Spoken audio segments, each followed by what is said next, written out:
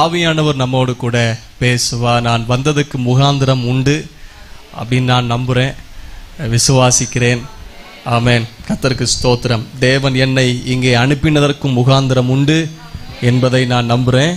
நீங்களும் விசுவாசிக்கிறீர்கள் என்று நான் நினைக்கிறேன் ஆமேன் கத்தருக்கு மகிமை உண்டாவதாக ஆவியானவர் நம்மோடு பேசுவார்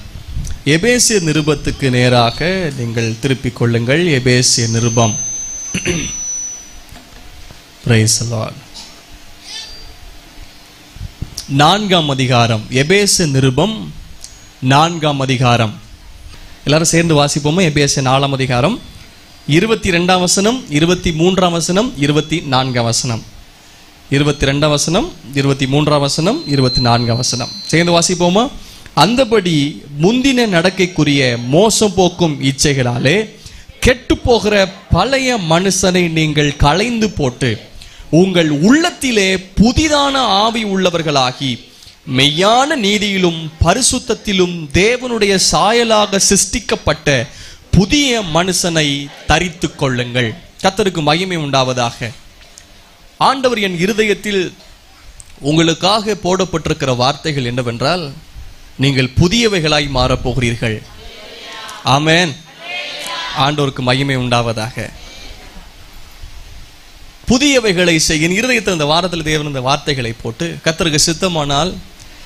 இந்த முதல் நாளிலே இருபத்தி ரெண்டாம் வசனத்தின்படி பழைய மனுஷனை நீங்கள் களைந்து போட்டு பழைய காரியங்கள் இந்த நாளிலே களைந்து போடுவதற்கு பழையவைகள் ஒளிந்து போவதற்கு ஆவியானவரே உதவி செய்வாராக சிலருக்குள்ள யாரா இவர் புதுசாக இருக்காரு அப்படின்னு ஒரு யோசனை இருக்கும் யோசனைலாம் முதல்ல சரி செஞ்சிடணும் இல்லைன்னா பிரசங்கம் முடியது வரைக்கும் இந்த யோசனை நடக்கும் சிலருக்கு பிரசங்கம் உள்ளே போகாதாக்கும் அது இப்படி நீங்கள் யோசிக்கக்கூடாதுன்னா முதலே பாஸ்ட்டு சொல்லிட்டாங்க நோட்டீஸில் போஸ்ட்டில் போட்டது வேற ஆளாக்கும் வந்திருக்கிறது வேற ஆள் ஆனால் பேசுகிறது ஆவியானவரன் உரியாக சொல்லிட்டாங்க சரிங்களா என் பேர் ஜோயல் நேசராஜ் எனக்கு ஒரு மனைவி ரெண்டு பிள்ளைகள் ஆண்டு கிருபையாக கொடுத்துருக்கிறார் சபை ஊழியத்தையும் செய்து கொண்டிருக்கிறேன் இதே மாதிரி அங்கே இங்கே பிரசங்கம் பண்ணுவதற்கும் தேவன் அழைக்கிற இடங்களில் சென்று கொண்டிருக்கிறேன் போதுமா இதுக்கு மேலே வேற என்ன வேணும் வேண்டாம்ல ஏன்னா சில இடத்துல பிரச்சனை ஆயிரும் ஏன்னா ஒரு அக்காவுக்கு அப்படியே யோசிக்க ஆரம்பிப்பாங்க இவரை எங்கேயோ பார்த்துருக்கேனே இப்போ இப்போ பாருங்களேன் இப்போ பாஸ்டர் சாமியில் ஜபராஜுடைய பையன்தான் அப்படின்னு சொல்லலாம் பாஸ்டர் கண்டிப்பாக யோசிப்பாப்புல இவரை எங்கேயோ பார்த்துருக்கேன் ஜோயில் நேசராஜ் எங்கேயோ கேட்டிருக்கேனே அப்படின்னு அதே மாதிரி தான் அந்த அக்கா சும்மா இருக்க மாட்டாங்க உங்களை சொல்லலை சில அக்கா மர சொல்கிறேன் அப்படியே யோசிச்சே இருப்பாங்க பார்த்தீங்கன்னா அந்த நேரத்தில் பத்து நிமிஷம் பிரசங்கம் ஓடிடும் பத்து நிமிஷம் பிரசங்கம் நல்லா பருமையாக போயிருக்கும் அது கடந்துடும் அந்த அம்மா என்ன பண்ணு தெரியுமா பக்கத்தில் ஒரு சிஸ்டர் தட்டி அப்போ அந்த அக்கா அப்போ தான் முழிச்சு ஒரு ரெண்டு நிமிஷம் பிரசங்கம் கேட்டிருக்கும் பார்த்துக்குங்க அப்படி தட்டி ஏக்கா அவரை எங்கேயோ பார்த்த மாதிரி இருக்குது தெரியுமா பாருங்கள் அந்த அக்கா அப்போ தான் பிரசங்கத்துக்கு நேராக சிந்தையை திருப்பிக்கும் பாருங்கள் அந்த அக்கா சிந்தையும் போய் அந்த அக்காவும் அப்படியே யோசிக்க நமக்கு ஆமாம்ல எங்கேயோ பார்த்துருக்கேன் எங்கேயோ பார்த்துருக்கேன் அப்படின்னு ஹோலிலேண்ட் டிவி எடுத்துகிட்டு இருக்கவங்க சிரிக்காங்க ஏன்னா எங்கே போனாலும் அந்த துப்பாக்கி மாதிரி எடுத்துகிட்டு நம்ம பிரசங்கத்துக்கு வந்துடுவாங்க சரி ஆண்டோருக்கு சோத்திரம் இதே மாதிரி பாருங்களேன் பின்னாடி ஒரு அக்காவுக்கு டவுட் வரும் அப்படியே செய்தி பறந்து பறந்து பறந்து முன்னாடி வந்து செய்தி உள்ளே இறங்காது இவர் யாருன்னு தான் உள்ளே இறங்கும் அதுக்காகத்தான் எல்லா கூட்டத்திலையும் பிரசங்கியார் யாருன்னு ஒரு முகவரியை சொல்கிறாங்கன்னு நினைக்கிறேன் சரி உங்களுக்கு என்ன அந்த குழப்பம் வராது குழப்பம் வரக்கூடாதுன்னு எல்லாரும் பேசியிருக்கேன் கத்தருக்கு மகிமை உண்டாவதாக தேவனுக்கு ஸ்தோத்திரம் ஆவியானவர் பேசுவார் இடம் கொடுப்போம் புதியவைகளாய் ஆண்டவர் நம்மை மாற்ற விரும்புகிறார் வேதத்தில் பாருங்கள் வெளிப்படுத்தல் புஸ்தகத்தில் நீங்கள் திருப்புவீர்களானால் அங்கே தேவன் சொல்றாரு பாருங்க இருபத்தி ஒன்றாம் அதிகாரம் வெளிப்படுத்தல் இருபத்தி ஒன்றாம் அதிகாரம் அதனுடைய ஐந்தாவது வசனம் வெளிப்படுத்தல் இருபத்தி ஒன்றாம் அதிகாரம் ஐந்தாவது வசனம் சிங்காசனத்தின் மேல் வீற்றிருந்தவர் இதோ நான் சகலத்தையும் புதிதாக்குகிறேன் என்றார் சகலத்தையும் புதிதாக்குகிறேன் ஆண்டவருடைய வேலை புதிதாக்குகிறது ஆண்டவர் புதிய வானத்தையும் புதிய பூமியை சிருஷ்டிக்கிறார் புதிய எருசலேம் இறங்கி வர கண்டேன்னு சொல்லி தரிசனத்தை பார்க்கிறார் புதிய காரியத்தை அவர் செய்கிறார் பழையவகை நினைக்க வேண்டாம் பூர்வமான சிந்திக்க வேண்டாம் இதோ புதிய காரியத்தை செய்கிறேன் என்று ஆண்டவர் சொல்லி இருக்கிறார் தேவன் புதிதானவைகளை செய்கிறவர் எத்தனை பேர் நம்புறீங்க ஆண்டவர் புதியதானவைகளை செய்கிறவர் நம்புங்க விசுவாசிங்க நம்முடைய வாழ்க்கையில புதிய காரியங்களை அவர் செய்கிறவர் எனக்காக புதிய திட்டங்களை வெளிப்படுத்துகிறவர் புதிய தரிசனத்தை கத்தர் தருகிறவர் புதிய கிருவைகளை கத்தர் தருகிறவர் ஆலலூயா ஆண்டவர் சகலத்தையும் புதிதாக்குகிற தெய்வனா இருக்கிறார் ஒரு சாட்சியோடு நான் செய்தி ஆரம்பிக்கிறேன் ஆண்டு நாமத்து மயமி உண்டா நான் திருமணம் பண்ணது தூத்துக்குடியில ஒரு போதகருடைய மகளை அங்கே போயிருக்கும் போது அந்த சபையில் இருக்கிற ஒரு மகள் வந்து கஷ்டப்பட்ட குடும்பத்தை சார்ந்தவங்க அவங்களுடைய பிறப்பில் அவங்களுடைய தகப்பன் இறந்து போனார் அந்த பிள்ளையும் அந்த தாயும் வந்து குடும்பத்தை எல்லாரும் கைவிட்டாங்க ரொம்ப பரம ஏழை அப்போ அந்த கை குழந்தையும் அந்த அம்மாவையும் சபையில் போட்டு போயிட்டாங்க அவங்களாம் இந்து குடும்பத்தை சேர்ந்தவர்கள் கை குழந்தையா இருக்கும்போது அந்த பெண் பிள்ளைய சபையில் போட்டு போயிட்டாங்க எங்களுடைய மாமா பல வருடங்கள் முன்பதாக ஆஃப்னேஜ் நடத்திட்டு இருந்தாங்க ஆனால் அதை பிள்ளைகளை படிக்க வச்சுருந்தாங்க அப்படி தான் அங்கே வளர்ந்தாங்க அந்த அம்மா சாப்பாடு பொங்கி போடுவாங்க அந்த பிள்ளை அங்கே வளர்ந்தது அந்த மகள் வாலிபலாக வாலிப பிள்ளையாய் மாறி திருமண காரியம் வரும்போது திருமணம் முடிச்சுட்டு குடும்பமாக வந்திருந்தாங்க அப்போது அந்த சாட்சியில் சொல்லிட்டு இருந்தாங்க மிக வறுமையான குடும்பம் ஏன் திருமண காரியம் நடக்கும்போது கொட்டடிச்சிட்டு போனாங்கன்னு அப்படி ஏங்கி நின்று பார்ப்பாலாம் மிக மிக வறுமையான குடும்பம் கட்டி கொடுக்கறது கூட ஒன்றும் கிடையாது கல்யாணம் பண்ணி கொடுத்தா ஏதாவது புதிய பொருட்கள் கொடுத்து விடுவாங்க அந்த மகள் சொல்கிறாங்க நான் வந்து வீட்டில் வெள்ளை அடிக்கிறதுனால அந்த சுண்ணாம்புலாம் பெயிண்ட்லாம் வந்து கிரைண்டர் மேலெலாம் பட்டுட்டு நான் நினச்சிருந்தேன் பாஸ்டர் எல்லா பழசையும் தொடச்சி தான் வீட்டுக்கு கொண்டு போக நினச்சிருந்தேன் பாஸ்டர் வீட்டில் பயன்படுத்திட்டு இருக்கிற பழசை ஏதாவது சீதனமாக கொடுத்து விடுவோம் வாங்கும் கடனையாவது வாங்கி ஏதாவது நான் ஃப்ரிட்ஜு வாஷிங் மிஷின் கிரைண்டர் வாங்கி கொடுக்க மாட்டோம் கண்டிப்பாங்க ஆனால் அந்த பிள்ளை சொல்லுது பழசை தொடச்சி ரொம்ப அழுக்காகி போச்சு பழசை தொடச்சி எடுத்துகிட்டு போனது அந்த வார்த்தை அப்படியே சொல்லி பயன்படுச்சு எனக்கு ஆச்சரியம் அந்த அந்த அவருடைய சாட்சி ரொம்ப நேரம் கேட்டுட்டு இருந்தேன் ஆனால் பாருங்க ஆச்சரியமாக இருந்த திருமணத்துக்கு கொஞ்ச நாளுக்கு முன்னாடி வந்து ஒரு ஏஜென்சிலேருந்து வீட்டுக்கு வராங்களாம் ஏன்னா அங்கே வந்து ப்ரேயருக்கு அட்டன் பண்ண போயிருக்கிற அந்த பிள்ளை அப்போ அதனால் திருமணம்னு கேள்விப்பட்டு வந்து எப்போ உனக்கு என்ன பொருள்லாம் வேணும் உனக்கு என்னெல்லாம் தேவை அப்படின்னு சொன்ன போது இந்த மகளுக்கு எந்த பொருளுமே இல்லை கொண்டு போகிறதுக்கு அந்த ஏஜென்சிலிருந்து இந்த மகளுக்கு என்னென்ன பொருள் தேவையோ எல்லாம் புதிதாய் திருமண நாளுக்கு முன்பதாக வந்து இறங்கினது சத்திய இருந்து கட்டில் பீரோல் மெத்தை என்னென்ன பொருள் தேவையோ எதெல்லாம் பழசாக கொண்டு போகணும்னு நினச்சாலோ எல்லாம் புதுசாக வந்து இறங்கின இந்த மகள் சாட்சியாக சொன்னது தேவன் பாருங்க இந்த மகளுக்கு புதிய காரியத்தை செய்தார் அந்த ஏழ்மையிலையும் அவளுடைய சாட்சி ஆச்சரியமா இருந்துச்சு இந்த ஏழ்மையிலையும் பல காரியத்தை பண்ற கொடுக்கறது இந்த சபையில் ஓடிட்டு இருக்கிற ஃபேன் பாருங்க பாஸ்டர் கஷ்டப்பட்டு தரித்திரம் அவ்வளோ இதுலையும் அந்த ஃபேன் நாங்கள் கொடுக்குறோம் அதாவது நியூ இயர் நியூ இயர் சர்வீஸில் பால் பொ காய்க்கிறதுக்கு கூட முதல்ல நாங்கள் கொடுக்குற சிலிண்டர் தான் அந்த மாதம் முழுவதும் ஜனவரி மாதம் முழுவதும் பாஸ்டர்மா வீட்டில் அந்த வீட்டிலேருந்து கொடுக்குற சிலிண்டர் தான் இருக்கும் அவ்வளோ வறுமையானவங்க இன்னைக்கு வரைக்கும் அப்படி தான் தேவன் பாருங்களேன் கஷ்டப்பட்ட குடும்பத்தில் கூட புதிதானவைகளை கத்திர செய்கிறார் எத்தனை பேர் நம்புறீங்கன்னு தெரியல தேவன் புதியவைகளை நமக்காக செய்வாராக ஒருவேளை பழசை வச்சு அட்ஜஸ்ட் பண்ணலாம் நினைக்கிறீங்க பழசை வச்சு ஓட்டிட்டு இருக்கலாம் நினைக்கிறீங்களா தேவன் புதிதானவைகளாய் நமக்கு செய்கிறவ அலையிலூய சகலவற்றையும் புதிதாக்குகிறவ ஆண்டவர் பல புதிய காரியங்களை கத்தர் செய்கிறார் வேதத்தில் நான் சொல்லுகிறதை நீங்கள் நீங்கள் கவனித்தால் போதும் நான் சொல்லுகிறேன் ஆண்டவர் புதிய மனுஷனாய் மாற்றுகிறாராம் கிறிஸ்து ஒருவன் கிறிஸ்துவுக்குள் இருந்தால்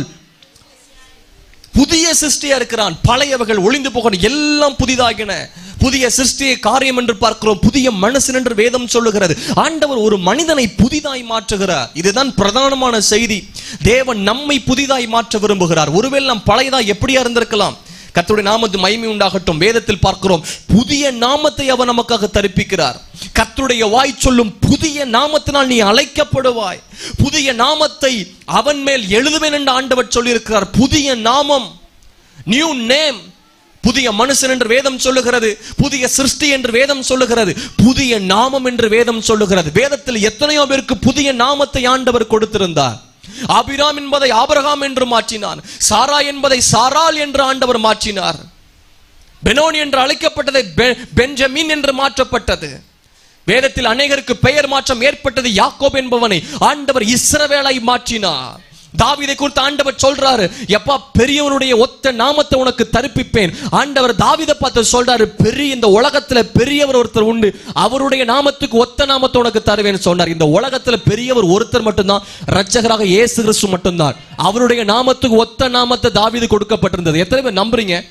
ஆலலு இயேசு கிறிஸ்து என்கிற நாமத்தை விட வேதத்தில் அதிகமாய் பதிவு செய்யப்பட்டிருக்கிற நாமம் தாவிது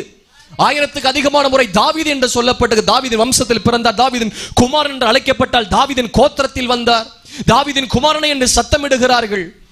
அவ்வளவு கத்தர் உயர்த்தினார் புதிய நாமத்தை ஆண்டவர் தரிப்பிக்கிறவர் ஆண்டவர் பாருங்கள் வெறும் தண்ணீரை திராட்சரசமாய் ரசமாய் மாற்றி தண்ணீருக்கு பெயர் வருகிறது திராட்சரசம் ரசம் என்கிற ஒரு பெயர் மாற்றப்பட்டது மாறா என்றிருந்ததை அதே இடத்தை கத்தர் மதுரமாய் மாற்றுகிறார் ஆண்டவர்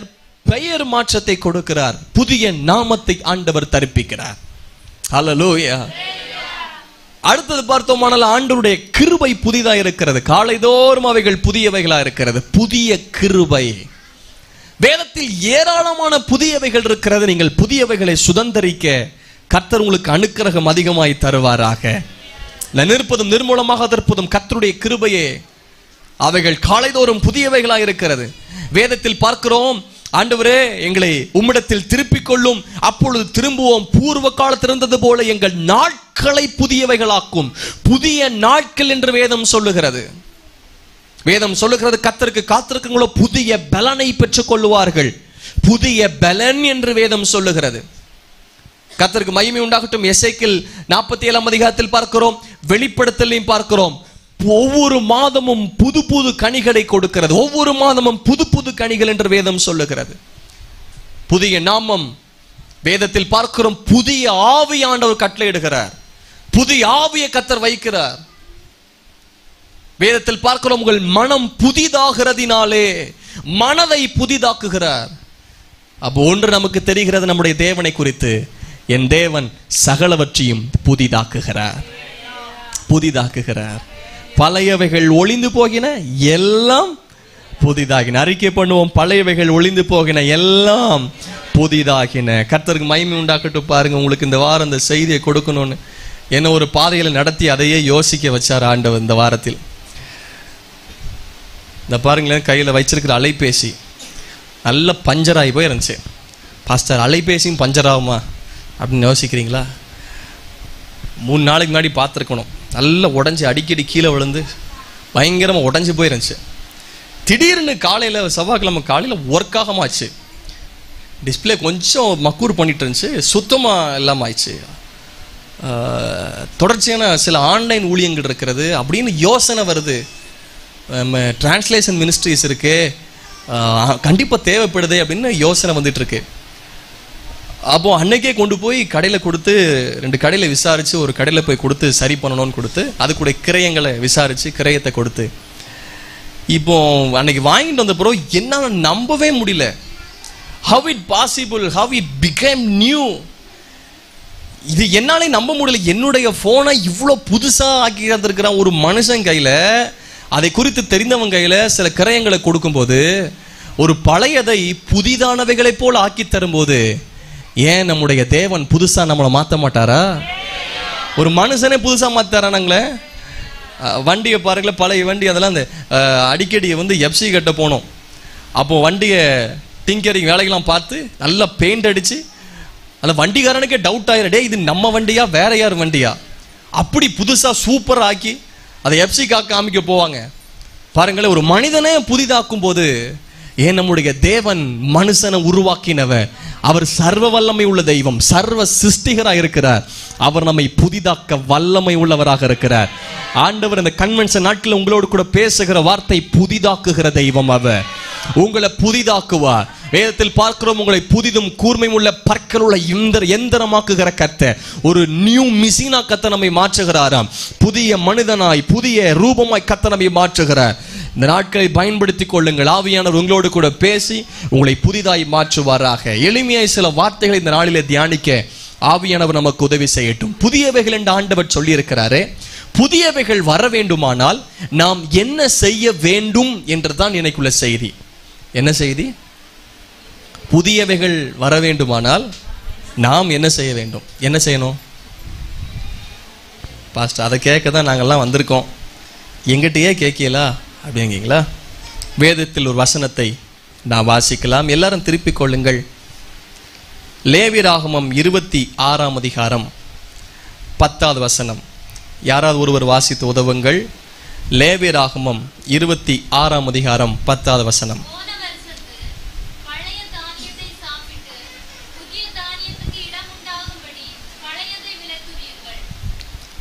போன வருடத்து பழைய தானியத்தை சாப்பிட்டு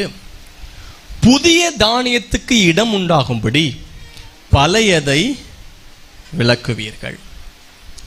இதில் அருமையாக போட்டிருக்க இந்த வசனத்தில் புதிய தானியத்துக்கு இடம் உண்டாகும்படி அப்போ புதுசாக வரணும் என்ன வேணும் பார்த்தீங்களா என்ன சவுண்டு வர மாட்டேக்கு புதுசாக வரணும்னா என்ன வேணும் வெரி குட் உங்களுக்கு எல்லாம் தெரிஞ்சிருக்கு பாருங்கள் வசன அருமையாக சொல்லுது புதிய தானியத்துக்கு இடம் உண்டாகும்படிக்கு பழையதை சரிங்க அப்போ புதுசு வர்றதுக்கு அடுத்தது ஒன்று இதில் போட்டிருக்கு என்ன போட்டிருக்கு பழசை காலி பண்ணுன்னு போட்டிருக்கு போட்டிருக்கா சரி உங்களுக்கு இப்படி சொன்னால் புரியாது முன்னாடிலாம் வந்து பழைய இரும்பு தகரம் பிளாஸ்டிக் கிழங்கு அப்படின்னு சொல்லிட்டு போவாங்க எங்கள் ஏரியா பக்கத்தில் இங்கே உங்களுக்கு நிறைய கிழங்கு வரதுனால வீடு வீடாக சொல்லுவாங்களான்னு தெரில ஆமாம் சிங்கி சொல்லுவாங்களா பழைய தகரம் பிளாஸ்டிக் கிழங்கே கிழங்கேன்னு போவாங்க ஒரு இந்த தகர பெட்டியில் வச்சுட்டு கொஞ்சம் கிழங்கு வச்சுட்டு பேப்பரும் தராசையும் வச்சுட்டு வருவாங்க அவங்க சொல்கிற டைலாக்கே தான் பழைய இரும்பு தகரம் பிளாஸ்டிக் இதை பழசை கொடுத்தா கிழங்கு கிடைக்கும் இல்லைன்னா காசு கிடைக்கும் இப்போ டெக்னாலஜியில் வளர்ந்துட்டு பார்த்தீங்கன்னா நான் காலம்லாம் வளர்ந்துட்டு இப்போ எல்லாம் வந்து ஆட்டோவில் வராங்க குட் குட்டி யானையிலையும் குட்டி யானைலாம் அடிக்கடி வராங்க எங்கள் ஏரியா பக்கத்தில் வருவாங்க தெரு தெருவா இங்கே வராங்களான்னு தெரில வராங்களா பார்த்தீங்க பார்த்தீங்களா அப்போ கண்டிப்பாக செய்தி மறக்கவே செய்யாது உங்களுக்கு எத்தனை வருடம் ஆனாலும் அந்த செய்தி உங்களுக்கு மறக்காது இப்போ என்ன டைலாக் வருது பழைய மிக்சி பழைய கிரைண்டர் பழைய வாஷிங் மிஷின் பழைய ஏசி எதுவாக இருந்தாலும் வாங்கிடலாம் நீங்கள் பழசை கொடுத்துட்டு புதுசாக வாங்கிடலாம் காசாக வேணால் காசாக வாங்கிடலாம் புதுசாக வேணால் புதுசாக வாங்கிடலாம் இந்த டயலாக் கேள்விப்பட்டிருக்கீங்களா ஆ பார்த்தீங்களா ஆமாம் ஃப்ரிட்ஜிலேருந்து வாஷிங் மிஷின்லேருந்து கிரைண்டர்லேருந்து மிக்சிலேருந்து எல்லா பொருளையும் அவங்க என்ன பண்ணுறாங்கன்னா நீங்கள் கொடுத்துட்டு பழசை கொடுத்துட்டு புதுசு வேணால் புதுசு வாங்க காசு வேணால் காசை வாங்க சரி சில நல்ல ஆட்களுக்கு பழசை கொடுக்கறதுக்கு மனசே இருக்காது வீட்டுக்குள்ள ஒரு ஸ்டோர் ரூம்னு வச்சுருப்பாங்க அது ஸ்டோர் ரூம்னு சொல்லி போய் பார்த்தா எல்லா பழசும் அடைஞ்சு கிடக்கும் இந்த டிவி கடையில் இருக்க மாதிரி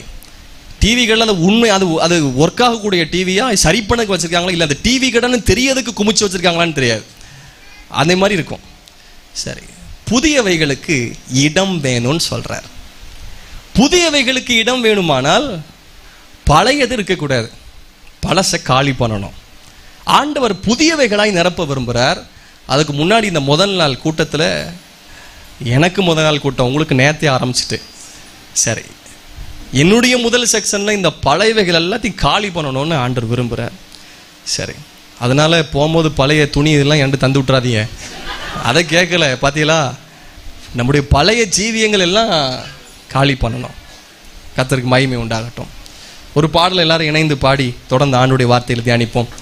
இந்த மட்டும் காத்த எபினேசரை இனிமேலும் காக்கும் எகவாயர் இந்த பாட்டு தெரியுமா இந்த மட்டும் காக்கும் காத்த எபினேசரை பழமையெல்லாம் ஒளிந்து போனதே புதிதாக தேவனால் ஆனது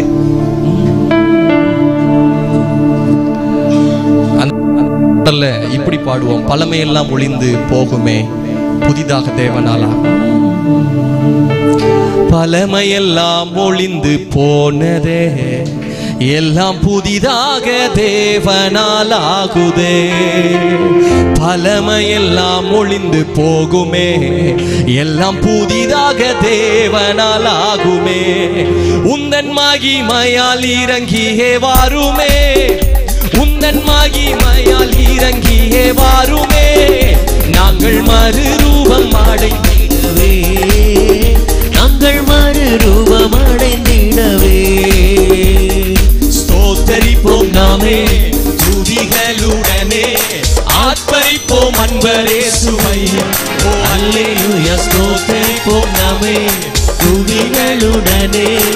ஆத்மரிப்போம் அன்பரே சுவை பழமையெல்லாம் ஒழித்து போனது பழமையெல்லாம் ஒழிந்து போனதே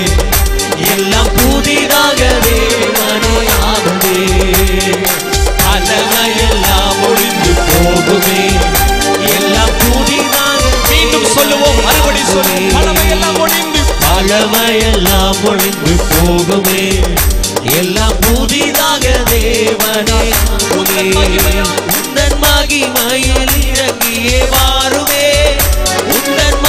மயில் இறங்கியே வாருமே நாங்கள் மறுரூபம் அடைந்திடவே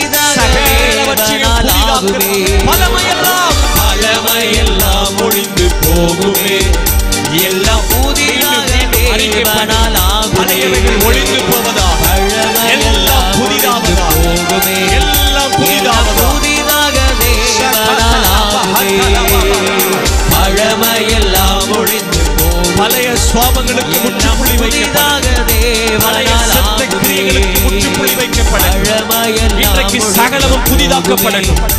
ಹಳೆಯ ಬೆಳಗಟ್ಟು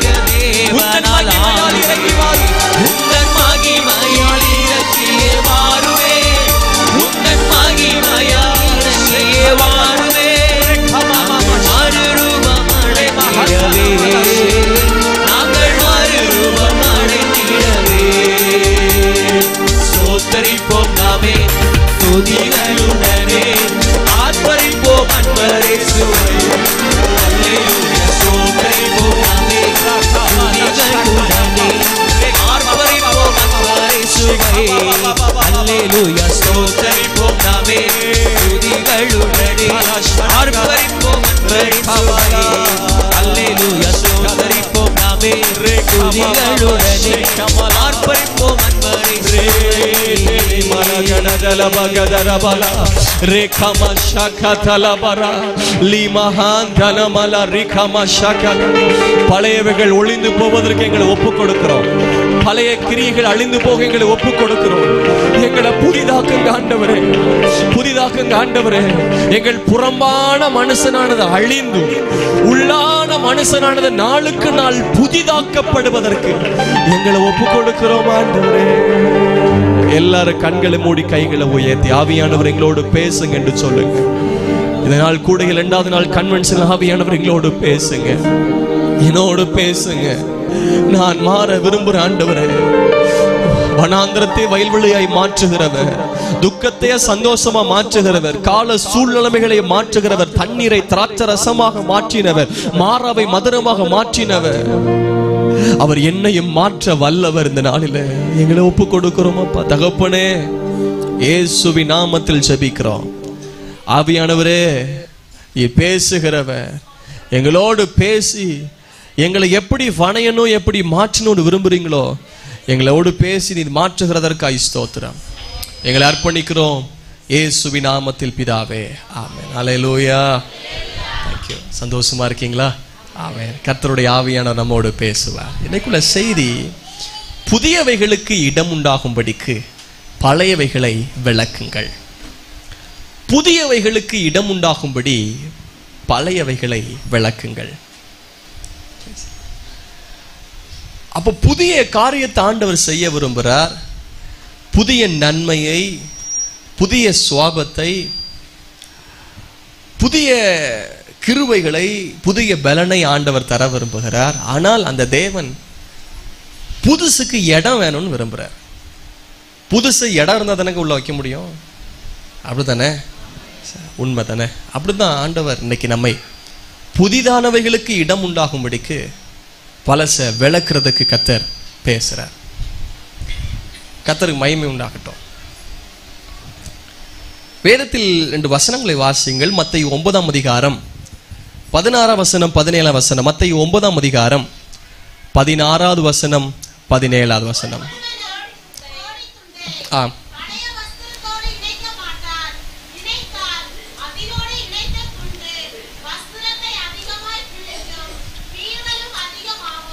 கோடி தூடுனா புதிய வஸ்திரம்னு அர்த்தம் புதிய வஸ்திரத்தோடு பழைய வஸ்திரத்தை இணைக்க மாட்டாங்களாம் என கிழிந்து போகும்னு பார்க்குறோம் அதே போல துருத்தியை குறித்து வாசிக்கிறோம் பாருங்க அடுத்த வசனத்தில் புது திராட்சரசத்தை வார்த்தால் துருத்தி கிழிந்து போகும் ரசமும் சிந்தி போகும் அப்போ புதிய ரசத்தை பழைய துருத்தியில் வைக்கிறது இல்லை துருத்தி என்றால் அது கொஞ்சம் இந்த இப்போ இந்த மாவு பார்த்தீங்களா இட்லி மாவு அரைச்சி வச்சிருப்போம் அது இந்த அரை தான் அரை பாத்திரம் தான் இந்த மாதிரி இருக்கும் காலையில் பார்த்தீங்கன்னா ஃபுல்லாயிருமா என்னங்க ஆகாதா உங்கள் வீட்டிலலாம் அதே மாதிரி துருத்தியில் இந்த திராட்சை ரசத்தை ஊற்றி வைக்கும்போது அது இந்த ஈஸ்டெல்லாம் ஏற்பட்டு அது பெருசாகும் அப்போ துருத்தி ஏற்கனவே பெருசாயிரும் பெருசான துருத்தியில் இன்னும் புதிய ரசத்தை ஊற்றும் போது இன்னும் புதிய ரசத்துடைய வீரியம் அதிகரிக்கும் போது துருத்தி கிழிஞ்சு போயிடும் அதனால தான் சொல்லப்படுகிறது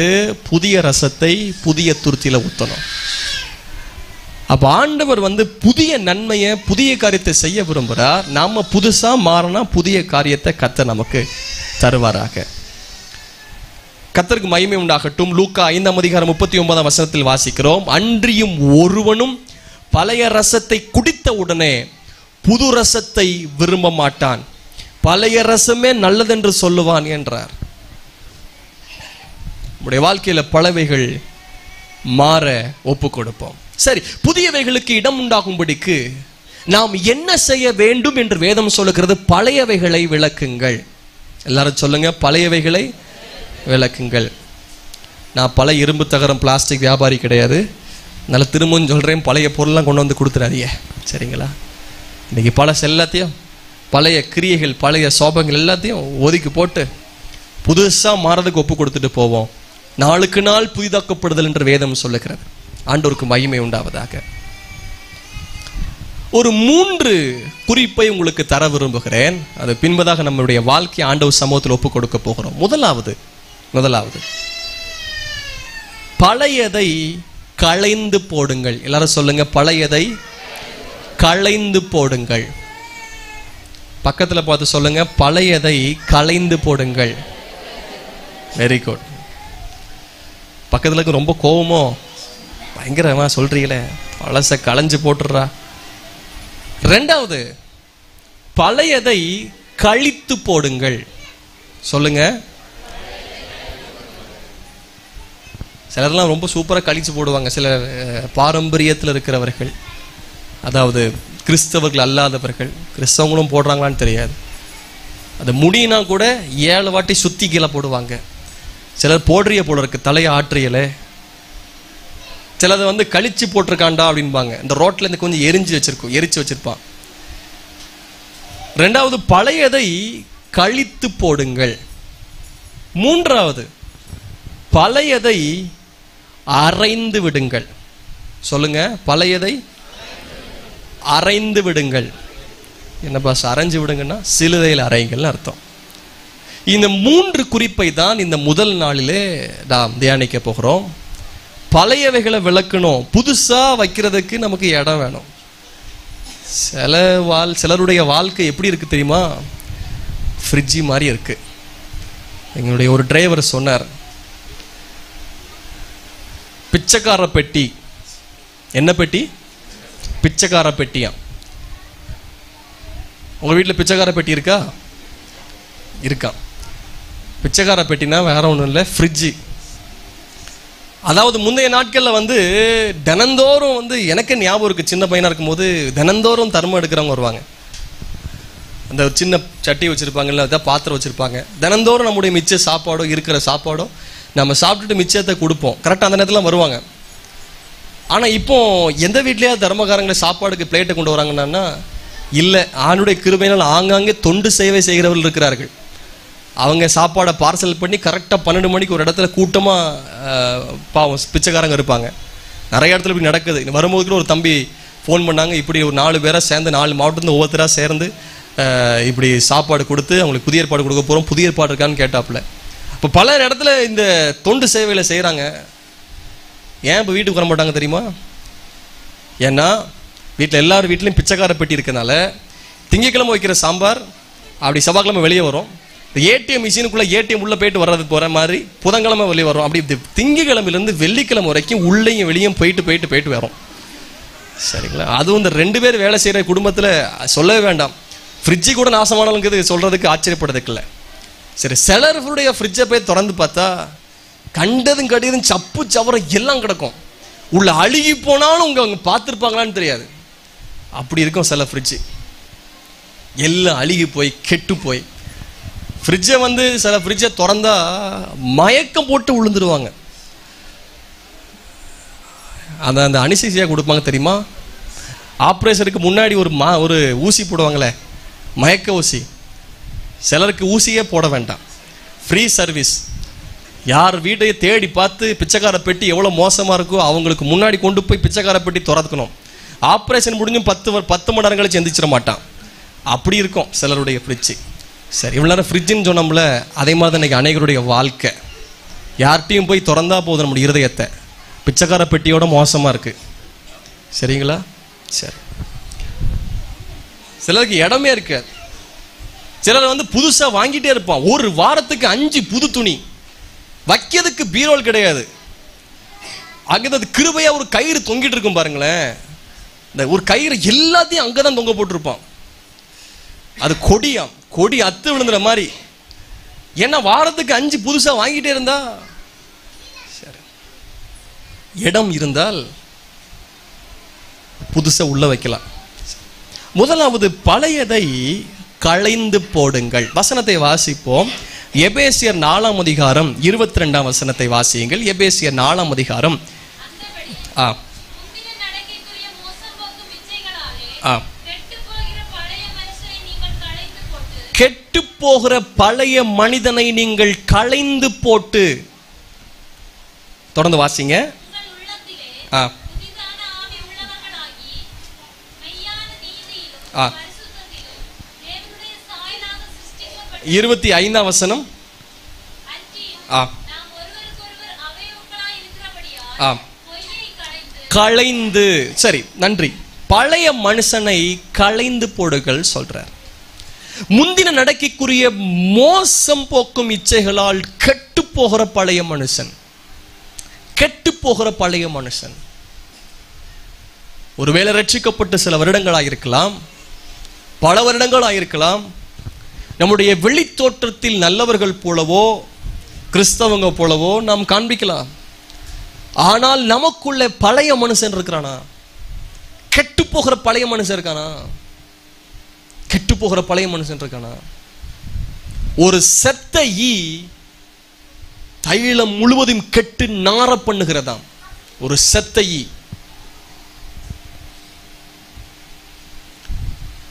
நம்முடைய வாழ்க்கை எப்படி கொஞ்சம் யோசிச்சு பாருங்க அநேகருடைய வாழ்க்கையில் இன்னைக்கு பழையவைகள் ஒளிந்து போகவில்லை பழையவைகள் ஒளிந்து போகின எல்லாம் புதிதாகின புதுசா மாற வேண்டுமானால் பழச ஒழிக்கணும் பழச ஒழிக்கணும் செய்தியை கேட்டுக்கொண்டிருக்கும் போதே நீங்க கொஞ்சம் யோசிக்க என்ன பழைய சோபம் இருக்கு ஏன் இயேசுவின் ரத்தத்தினால் நம்மை கழுவுகிறார் தெரியுமா சோபங்கள் எல்லாம் ரத்தத்தோடு சம்பந்தமானவைகள் ஜென்ம சோபம் என் தாய் பாவத்தில் கற்பம் தரித்தாள் இவன் தாத்தா மாதிரி கோவப்படுறான்டா அப்பா மாதிரி கோவப்படுறான்டா அப்படியே உரிச்சு வச்ச மாதிரி அப்ப மாதிரியே இருக்கான் என்ன அர்த்தம் ரத்தம் அந்த ரத்தம் என்ன சேட்டையெல்லாம் பண்ணிச்சோ அதே ரத்தம் எனக்குள்ள வந்தனால நானும் அதை சேட்டையை பண்றேன் சுவாபங்கள் ரத்தத்தோடு கலந்தவைகளா இருக்கிறது ஆனால் இயேசு கிறிஸ்துவின் ரத்தம் எனக்குள்ளே வரும்போது என்னை சுத்திகரிக்கும் போது என் சோபங்கள் இயேசுவின் சோபங்களைப் போல புதுசா மாறணும் ஆகவே தான் ஒவ்வொரு நாளும் ரத்தத்தினால் கழுவப்பட்டு கொண்டே இருக்கணும் அதான் வேதம் சொல்வது புறம்பான மனுஷன் அழிந்தும் உள்ளான மனுஷன் நாளுக்கு நாள் புதிதாக்கப்பட்டு கொண்டே இருக்கணும் பழைய சோபங்கள் பழைய மனுஷன் கலைந்து போடப்படணும் கலைந்தென்றால் கலற்றி போடப்பட வேண்டும் கலற்றி போடப்பட வேண்டும் இன்னைக்கு அநேகர் கலற்றி போடுறாங்க சர்ச்சுக்குள்ள வரும்போது கலற்றி போடுகிறார்கள் எப்படி செருப்பை வெளியே கலத்திட்டு வர்றோமோ அதே மாதிரி ஆலயத்துக்குள்ள வரும்போது போதகரை பார்க்க வரும்போது ஆண்டவரை பார்க்க வரும்போது களைந்து போட்டு நல்லவன் மாதிரி ரொம்ப பரிசுத்தம் உள்ளவங்க மாதிரி தேவ தூதர் மாதிரி ஆனால் பார்க்கறதுக்கு அப்படிதான் தெரியுது ஓ எல்லாத்தையும் களைந்து போட்டு அருமையாக வந்திருக்கிறார் இந்த இந்த பாம்பு சட்டையை கலத்தி போட்டு போயிருக்கோம் அதை பார்த்துட்டு சின்ன பிள்ளைங்க பாம்பு கிடக்குடா இங்கே அது பயங்கரமான தந்திரவாதி அது தன்னுடைய மேலே உள்ள சட்டையை கலத்தி போட்டு போகும் ஆனால் அதனுடைய ஜீவியத்தன்னைக்கு அது மாற்றிருக்கு மாற்றினதில்லை நீ அநேகர் பாம்பு மாதிரி தான் இருக்கு அப்பளோ போல இருக்கு ஏன்னா அதான் அதை ஏற்கனவே சொல்லியாச்சு பழைய பாம்பாக்கிய வலு சர்ப்பம் அதுக்கு பேரே பழசு நம்ம பழசை தான் மாற்றணும்னு பசங்க இருக்கோம் லாண்டவர் நம்முடைய பழையவைகள் எல்லாவற்றையும் மாற்றுவதற்கு அருமையான வாய்ப்பை கொடுக்குறாருங்க இத்தனை ஆண்டுகளாய் நம்ம இடத்துல இருந்து பழையவைகள் பழைய சுவாபங்கள் உணர்ச்சி வசப்பட்டு எழும்புதில் சிலருடைய டயலாக் நான் மட்டும் பழைய ஆளாக இருந்தோம்னா என்ன பண்ணியிருப்பேன் தெரியுமா நான் மட்டும் பழைய ஆளாக இருந்தோம்னா கல்லறையில் கள்ளி முளைச்சிருக்கோம் நான் மட்டும் பழைய ஆளாக இருந்தோம்னா நான் வெட்டி உன்னை போட்டிருப்பான் அது அந்த பேசுகிற டயலாக் நான் மட்டும் அந்த மாதிரி இருந்தோம்னா டே நான் முன்னாடி ஏவன் தெரியுமால அப்படி பலவிதமாக பேசுவாங்க பழையதை கலைந்து போடுங்கள் கெட்டு போகிற பழைய மனிதனை கத்தருக்கு மயமே உண்டாவதாக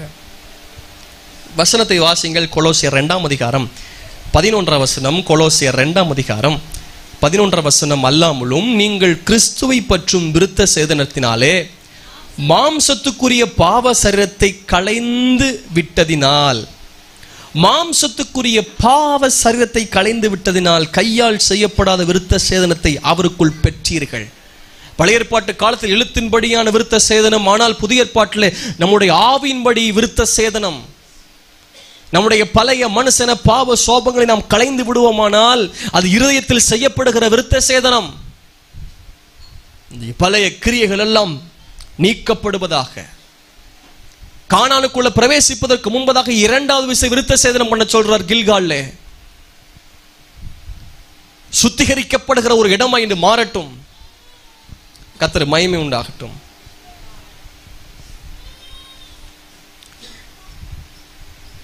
களைந்து போடுங்கள்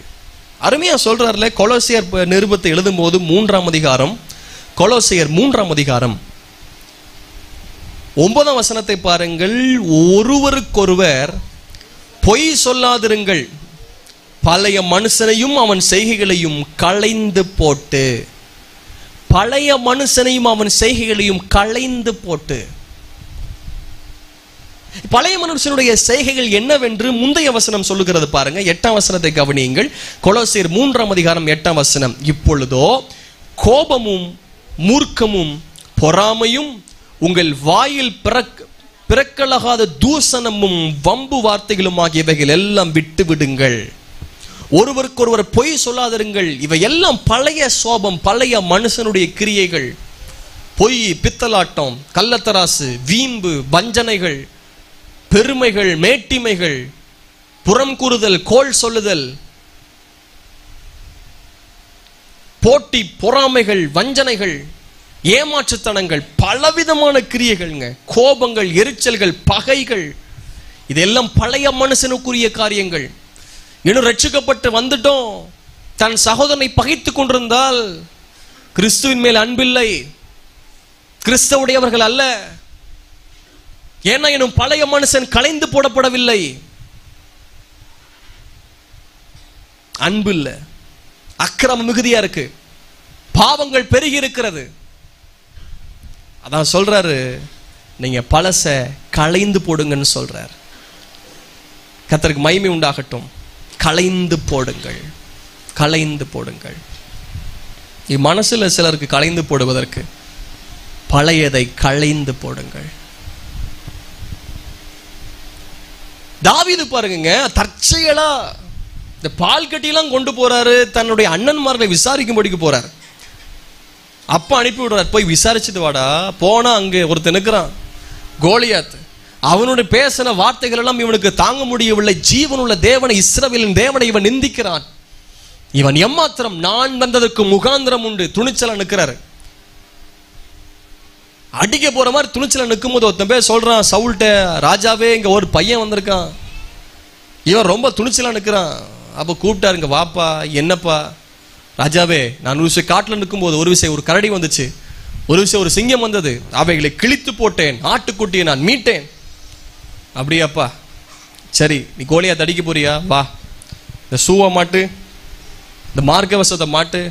இன்னும் கையில் பட்டயத்தை வச்சுக்க ஈட்டியை வச்சுக்க இன்னும் தலை பாகையை வச்சுக்க சர்வ ஆயுதங்களை கொடுக்குறாருல ஐயா என்ன சொன்னார் தாவிது எனக்கு பழக்கம் இல்லை என்று எல்லாவற்றையும் கலைந்து போட்டேன் உனக்குள்ளது எனக்கு எதுக்கு அதான் கோலியாத்தை பார்த்த சொல்றார் நீ நிந்தித்த இஸ்ரவேலின் இராணுவங்களுடைய சேனைகளின் கத்தருடைய நாமத்தில் வந்து நிற்கிறேன் நீ பட்டயத்தோடு மீட்டியோடு வந்து நிற்கிறாய் கலைந்து போட்டு போனான் கலைந்து போட்டு போனான் அநேகருக்கு கலைந்து போடுவதற்கு விருப்பம் இல்லை கொஞ்சம் விடுங்க கொஞ்சம் இறங்குவோமே கொஞ்சம் விட்டு கொடுப்போமே கொஞ்சம் விட்டு கொடுத்து பாருங்க கொஞ்சம் பகையை எடுத்து போட்டு பாருங்க கலைந்து போடுங்க கொஞ்சம் விரோதத்தை கலைந்து போட்டு பாருங்களேன் கொஞ்சம் பாவ கிரியைகளை கொஞ்சம் களைஞ்சு போட்டு பாருங்களேன் என்னென்ன பாவ கிரியைகள் உங்கள்கிட்ட இருக்கு என்னென்ன சோபங்களும் உங்கள்கிட்ட இருக்கு தவறான சோபங்கள் அதை கொஞ்சம் கலைந்து போட்டு பாருங்களேன் ட்ரை பண்ணி பாருங்களேன் முயற்சி பண்ணி பாருங்க ஆவியனர் உங்களுக்கு உதவி செய்வார்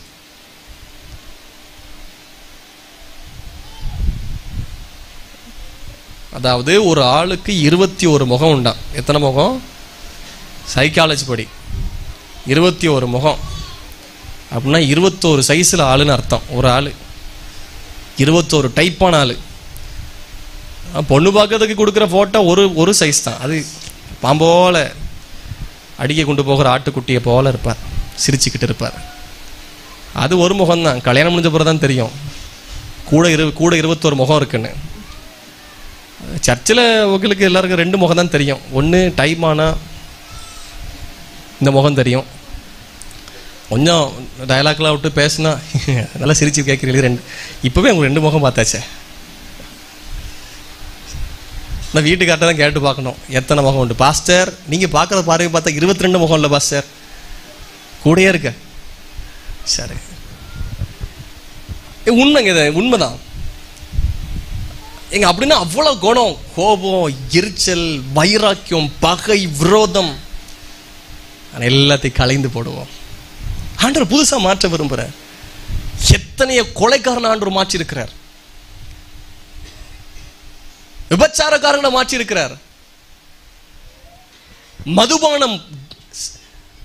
செயின் ஸ்மோக்கர்ஸ் தொடர்ச்சியாக மதுபான மருந்து தொடர்ச்சியாய் பீடி சிகரெட் பாம்பராக்கு யூஸ் பண்ணுறவங்களெல்லாம் மாத்திருக்கிறார் விட முடியாத பாவத்தில் சிக்கி தவித்தவங்களை எல்லாம் மாத்திருக்கிறார் இன்னைக்கு அந்த இயேசு இங்க இருக்கிறார் அவருடைய பிரசனம் இங்க இருக்கு இந்த ஆவியானவர் இங்க இருக்கிறார் அவர் நம்மையும் மாற்ற வல்லவராக இருக்கிறார் பழையதை களைந்து போடுங்கள் களைந்து போடுங்கள் கத்தர் மயிமை உண்டாகட்டும் வேதத்திலே சகரியாவின் தீர்க்கதரிசன புத்தகத்தில் எடுத்து வாசித்து பாருங்கள் மூன்றாம் அதிகாரம் நான்காம் வசனம் ஆசரனாக யோசுவாவை பார்த்து ஆண்டவர் சொல்றாரு பாருங்க வாசிங்க சகரியா வித்திகத புத்தகம் மூன்றாம் அதிகாரம் ஆ இவன் மேல் இருக்கிற அழுக்கு வஸ்திரங்களை களைந்து போடுங்கள் என்றார் ஆ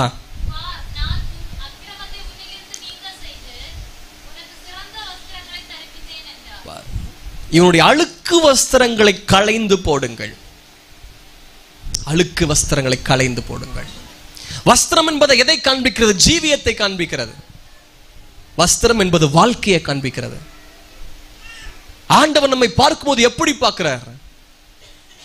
அழுக்கடைந்த வஸ்திரமாகவா இளையகுமார் வீட்டுக்கு வராங்க அவன் எல்லாவற்றையும் செலவழித்து துன்மார்க்குமா ஜீவியம் பண்ணி இது ஒரு ஓமைதான் ஆனா கருத்து அதிகமா போதிக்கிறார் இயேசு கிறிஸ்து எல்லாத்தையும் செலவழிச்சு பின்புதாக பண்டிகை கூட உட்கார்ந்து அவனுக்கு ஆசை பசியை விட ஆசை என்ன ஆசை பன்றி திங்கட தவுடையா திங்க ஆசை உட்கார்ந்துருக்குது பண்ணி கூட ஆனால் ஆசையை பாருங்க பசிங்கிறத விட ஆசை என்று போட்டிருக்கு எல்லாத்தையும் முடிச்சுட்டு வராரு அப்போ தான் யோசனை வருது வீட்டில் வேலைக்காரனுக்கு புஷ்டியான சாப்பாடு இந்த இளையகுமாரன் வரும்போது தகப்பன் ஓடி போய் முத்தமிட்டு கட்டி அணைக்கிறாரு தகப்பன் கொடுத்த முதலாவது பரிசனை தெரியுமா உயர்ந்த வஸ்திரம் தூரத்திலே வரும்போது தன் மகன் இளையகுமாரை தகப்பன் பார்த்த விதம் வேறு தன் பிள்ளையுடைய வஸ்திரத்தை பார்த்தார் ஐயோ என் பிள்ளையின் வஸ்திரம் கிழிந்திருக்கிறது என் பிள்ளையின் வஸ்திரம் அழுக்கா இருக்கிறது என் பிள்ளையின் வஸ்திரம் சாக்கடையா இருக்கிறது என் பிள்ளையின் வஸ்திரம் எப்படி கரைப்பட்டிருக்கிறது ஆகவே தான் தகப்பன் முதலாவது உயர்ந்த வஸ்திரத்தை பிள்ளைக்கு கொடுத்தார் வஸ்திரம் என்பது ஜீவியத்தை காண்பிக்கிற வேதத்தில் பார்க்க முடியும் வழிபோக்கன் ஒருவன் போறாங்க எருசலேம் எரிகோ போகும்போது கல்லர் கையில் அகப்பட்டான் அவன் பண்ண வேலை தெரியுமா கல்லன் முதலாவது செஞ்ச காரியம் என்னங்க கல்லனுக்கு என்ன தேவை நம்மள்ட இருக்க பணம் பொருள் பொண்ணு தேவை இல்ல ஏதாவது ஏதாவது பொருள் வச்சு தான் எட்டு போவான் ஆனா பைபிள்ல சொல்லுது இந்த கல்லன் பண்ணது முதலாவது வஸ்திரத்தை உரிந்து கல்லன் எதை காண்பிக்குதுன்னா பிசாசை காண்பிக்குது பிசாசுடைய வேலை வஸ்திரத்தை உரிய வேலை இளையகுமாரருக்கு முதலாவது கொடுத்தது பரிசு வஸ்திரம் ஏன்னா அவன் வஸ்திரம் கிழிஞ்சிருக்கு வஸ்திரம் அழுக்கா இருக்கு இந்த கல்லன் பண்ண வேலை முதலாவது வஸ்திரத்தை உரிந்து யோசேபு பாருங்க பல அங்கி கொடுத்திருந்தது இந்த அண்ணமார்களுடைய கண்ணெல்லாம் வஸ்திரத்து மேலே போச்சு இயேசு கிறிஸ்து பாருங்க வஸ்திரம் இல்லாதவர் அறகுறை ஆடையோடு தொங்கினார் இயேசுடைய வஸ்திரத்தின் பேர் சீட்டு போட்டார்கள் இந்த யோசேப்பு அரண்மனையில் இருக்கும்போது போத்திபாருடைய மனைவி இந்த போத்திவாருடைய மனைவி கேல யாருடைய வஸ்திரம் இருந்துச்சுன்னா யோசேப்புடைய வஸ்திரம் ஆதாம் ஏவாளுக்கு அருமையான மகிமையான வஸ்திரத்தை கொடுத்திருந்தார் வஸ்திரம் இல்லாதவள நிறுவனமாக இருக்காங்க வேதத்திலே பல காரியங்கள் வஸ்திரம் எடுக்கப்படுகிறது அப்படி என்றால் ஜீவியம் கெடுக்கப்படுகிறது ஜீவியம் அழிந்து போகிறது பிசாசுடைய நோக்கம் வஸ்திரத்தை களையணும் வஸ்திரம் எதற்கெல்லாம் ஒன்று அழகுக்கு குறிப்பா முதலாவது எதுக்கு தெரியுமா வஸ்திரம் நிறுவனத்தை மறைக்கிறதுக்கு ஆனா பிசாசுடைய என்னன்னு தெரியுமா வஸ்திரத்தின் மேல போகுது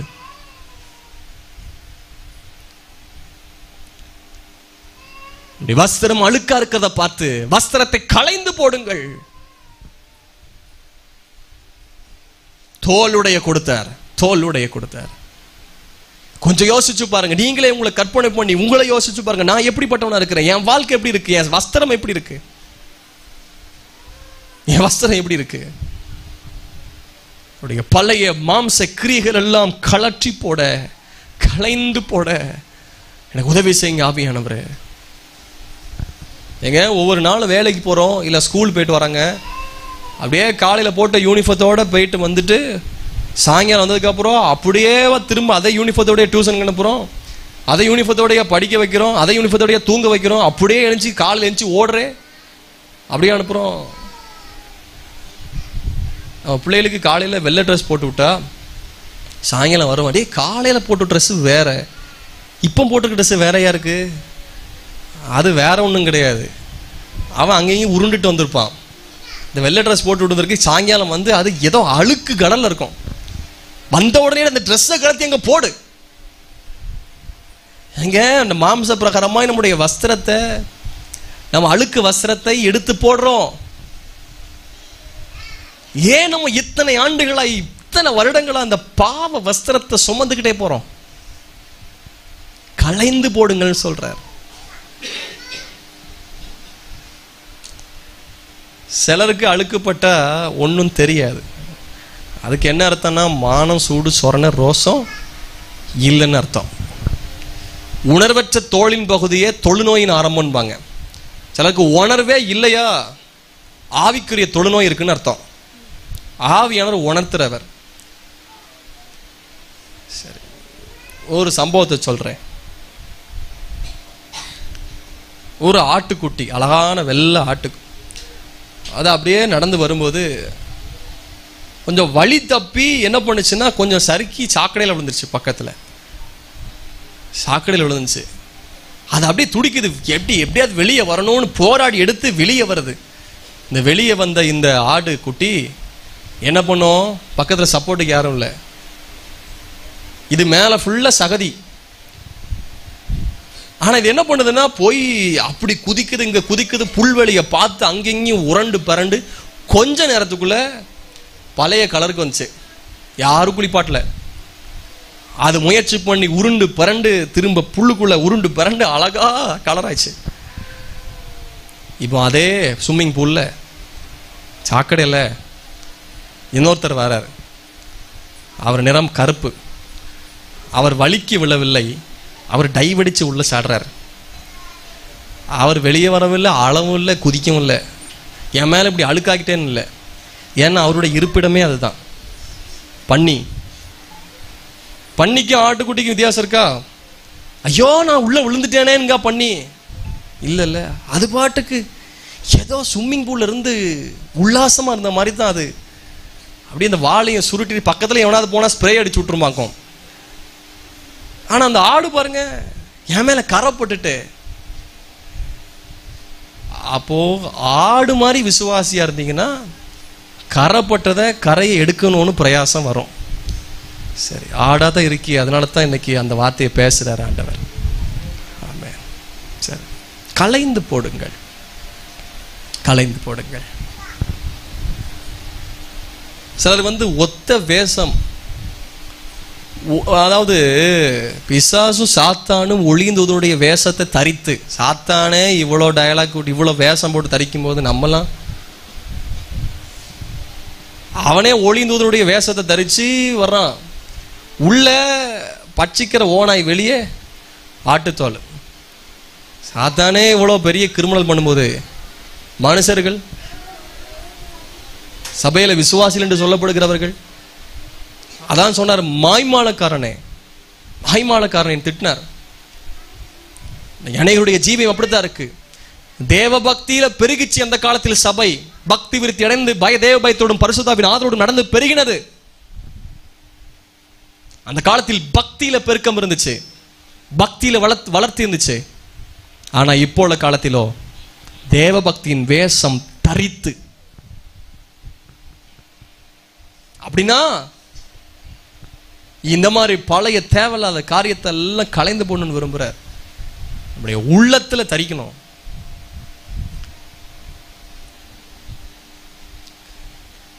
இங்க ஒரு வாழ்க்கை வெளியே ஒரு வாழ்க்கை கத்தர் மயிமை உண்டாகட்டும் எல்லா இடங்கள்லையும் பரிசுத்தமாய் வாழ்வதற்கு நமக்கு தேவன் அருள் புரிவாராக ஹலலூயா தாவியானவர் எப்பவும் நம்மை போதித்து கொண்டே இருப்பாராக உணர்த்தி கொண்டே இருப்பாராக யாருமே இல்லை பாவம் செய்திருக்கலாம் யோசேப்பு ஆனால் தேவனுக்கு பயந்ததினால் தேவன் இருக்கிறார் என்ற உணர்வு இருந்தபடினால் பாவம் செய்யலை நமக்குள்ள அந்த உணர்வு இருந்து கொண்டே இருக்கட்டும் பழைய மனுஷனை கலைந்து போடுங்க ஹலலூயா என்னுடைய தனிமேலையும் நான் பரிசுத்தமாய் வாழ நான் எங்கே இருந்தாலும் அங்கேயும் பரிசுத்தமாக செத்து போகிற குழந்தைகள்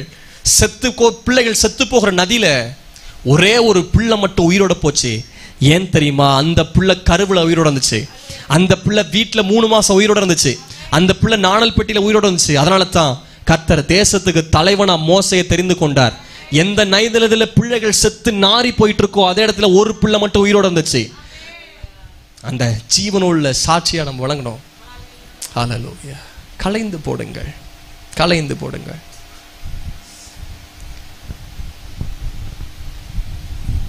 கலைந்து போடணும்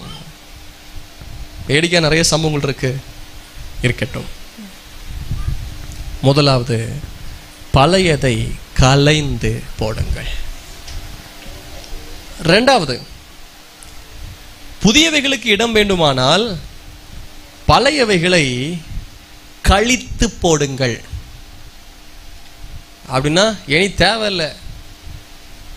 அது நமக்கும் தேவையில்லை வேற யாருக்கும் தேவையில்லை வாசிங்கள் ஒன்று குறைந்தர் ஐந்தாம் அதிகாரம் ஏழாம் வசனம் ஒன்று குருந்தியர் ஐந்தாம் அதிகாரம் ஆ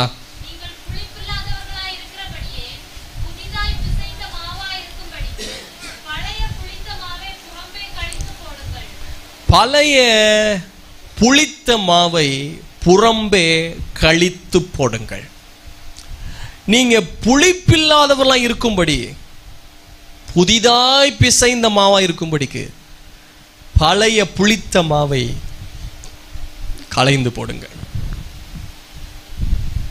பழைய புளித்த மாவென்று எதை குறித்து சொல்லுகிறார்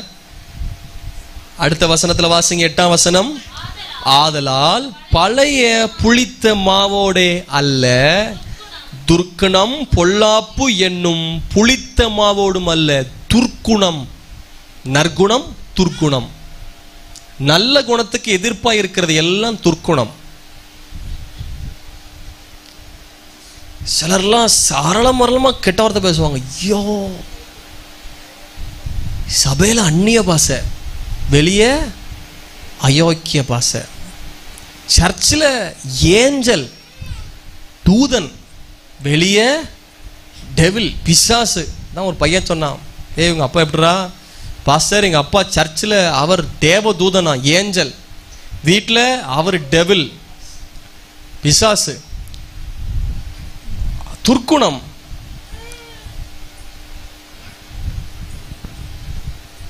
கிறிஸ்தவம் வரமும் தேவை அதை விட மேலே குணம் ரொம்ப முக்கியம் கனிகளினால் நீ அறிவன் சொன்னார் குணம் ரொம்ப ரொம்ப முக்கியம் அவங்க வேதத்தை ஆராய்ந்து பார்த்ததினால் தெசலோனிக்கே இருக்கிற பட்டத்தின் ஜனங்களை பார்க்கலும் நற்குணசாலிகளாய் மாறினார்கள் குணம் மாறணும் கவனம் மாறணும் பைபிள் இத்தனை வாட்டி படித்து முடிச்சிட்டேன்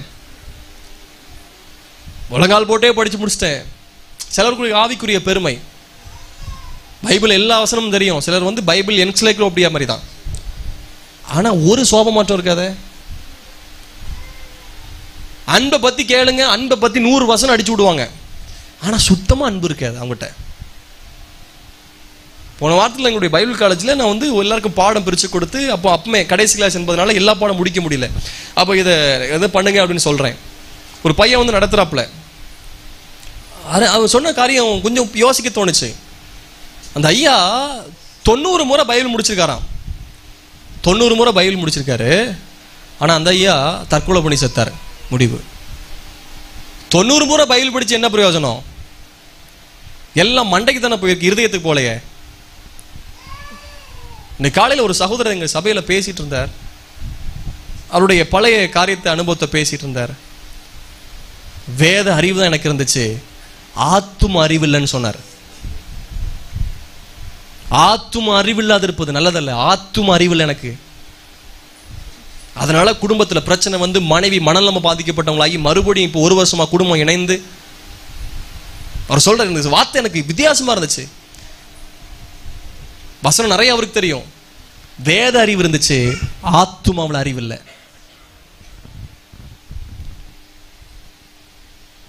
கொஞ்சம் யோசிக்க நம்ம வாசிக்கிறதோ நம்ம தியானிக்கிறதோ நம்முடைய வாழ்க்கை மாறதுக்கு எதுவாக இருக்கட்டும் குணம் ரொம்ப ரொம்ப முக்கியம் ஏன்னா நம்மளை பத்தி என்ன சொல்லுவாங்க நீங்களே இப்படி பண்றீங்களா ஏங்க நீங்களே ஏன்னா நமக்கு ரெண்டு கொம்பு இருக்கு மாதிரி தான் வெளியே பார்ப்பாங்க புரியுதா இல்லை சர்ச்சுக்கு போற நீங்களே இப்படி பேசிட்டீங்களா அப்போ நம்ம எவ்வளவு சாட்சியா வந்து விளங்கணும்னு யோசிச்சு பாருங்க துர்க்குணம்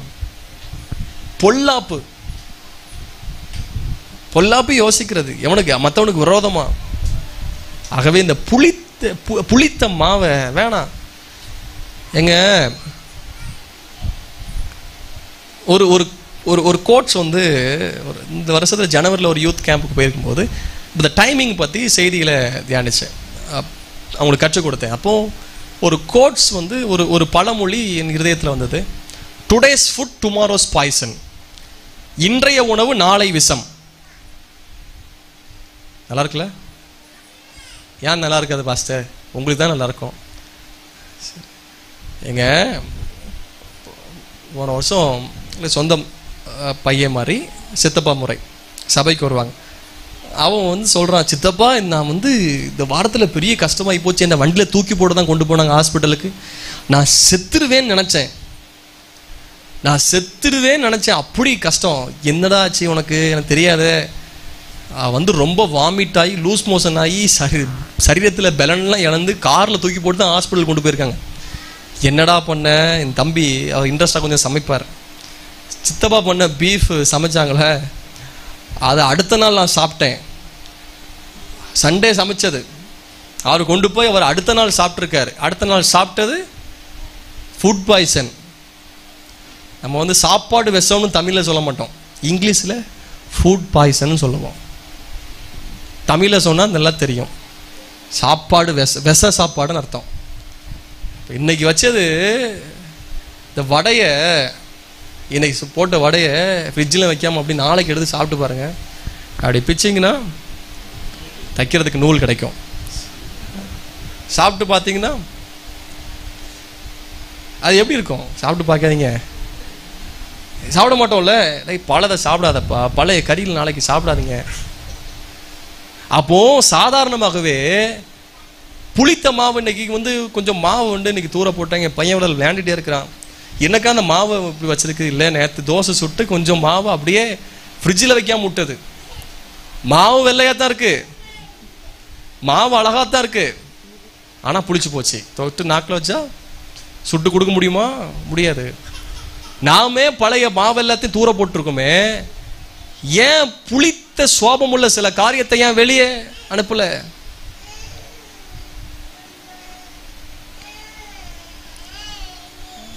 கொஞ்சம் யோசிச்சு பார்ப்போம் இன்னைக்கு இன்னைக்கு சிலர் வந்து பழைய சாப்பாடுனால செத்து போனவங்க கூட உண்டு அவ்வளோ டேஞ்சர் சரீரம் உறுப்புகள் எல்லாம் பாதிக்கப்பட்டு குடல் பாதிக்கப்பட்டு எங்க பழைய சாப்பாடு அவ்வளோ விஷமாக மாறுது ஏன் பழைய புளித்த சோபங்கள் விஷமாக மாறாதா மீதியை வைக்கிறவைகள் கண்ணுக்கு முள்ளாகும் விழாக்களுக்கு கூறுகளாக மாறிப்போகும் போகும் அப்படின்னு பைபிளில் வசனம் இருக்குது ஆகவே இந்த பொல்லாத காரியங்கள் துர்க்கோணங்கள் நம்மை விட்டு அழிந்து போக நம்மை ஒப்பு கொடுப்போம் எங்க ஆண்டவர் சொன்னார்ல இஸ்ரேல் ஜனங்களுக்கு வானத்தின் தானியம் தூதர்களின் அப்பம் டெய்லி காலையில் போய் மண்ணா பொறுக்கணும் மண்ணா எப்போ பொறுக்கணும் காலையில் மண்ணா எப்போ பொறுக்கணும் சரி கொஞ்சம் லேட்டாக போனால் மண்ணா கிடைக்குமா மண் கிடைக்கும் மண்ணா பொறுக்கினா மண்ணாக இருக்காது மண் கிடைக்கும் சரி இப்போ என்ன பிரமாணம் சொன்னார்னா தினந்தோறும் போய் காலையில் மண்ணா பொறுக்கணும் ஓய்வு நாளுக்காக முந்தின நாளே பொறுக்கணும் இது அந்த நாள் மட்டும் கெட்டு போகாது ஆனால் என்ன சொன்னார் தெரியுமா உங்க உங்க தேவை கேட்டதுமே எடுத்துருக்குங்க மீதியை எவனாவது வச்சானா என்ன ஆகும் வைக்காதன்னு சொன்னார் அதில் வச்சாங்க பாருங்க வாசிச்சு பாருங்கள் யாத்திராகம் பதினாறு இருபது தானே யாத்திராகம் பதினாறாம் அதிகாரம் இருபதாம் வசனம்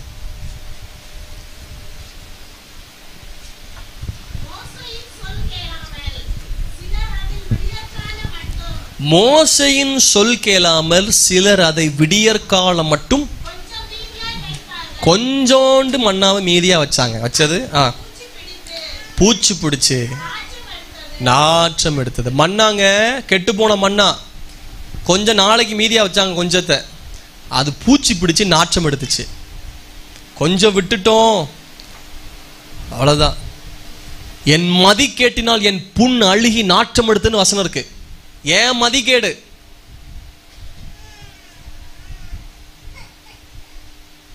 சின்ன புண்ணை தான் இருந்திருக்கும் கவனிக்காம விட்டுருப்பாங்க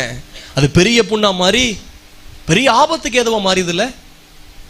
சரி அது அப்பவுமே கேர்ஃபுல்லாக பார்த்து எண்ணெயை போட்டு கொஞ்சம் மருந்து போட்டு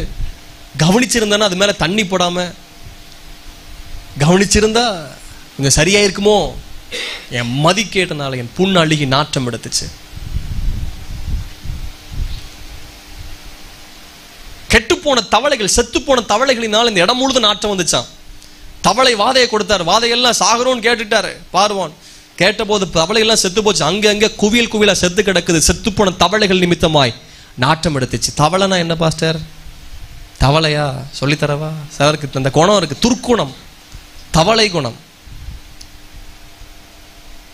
இங்கே உள்ள தவளை இங்கே தவளை உண்டா சரி தவளை எப்படி சத்தம் போடும் மாக்ரி தவளைன்னு ஒன்று இருக்குது தவளைகள்லேயே நிறைய தான் இருக்குது இந்த தவளையோட சத்தம் கிணக்குண கிணக்குண கிணக்குண கிணக்குண கிணக்குண கிணக்குண இப்படி சத்தம் போடுமா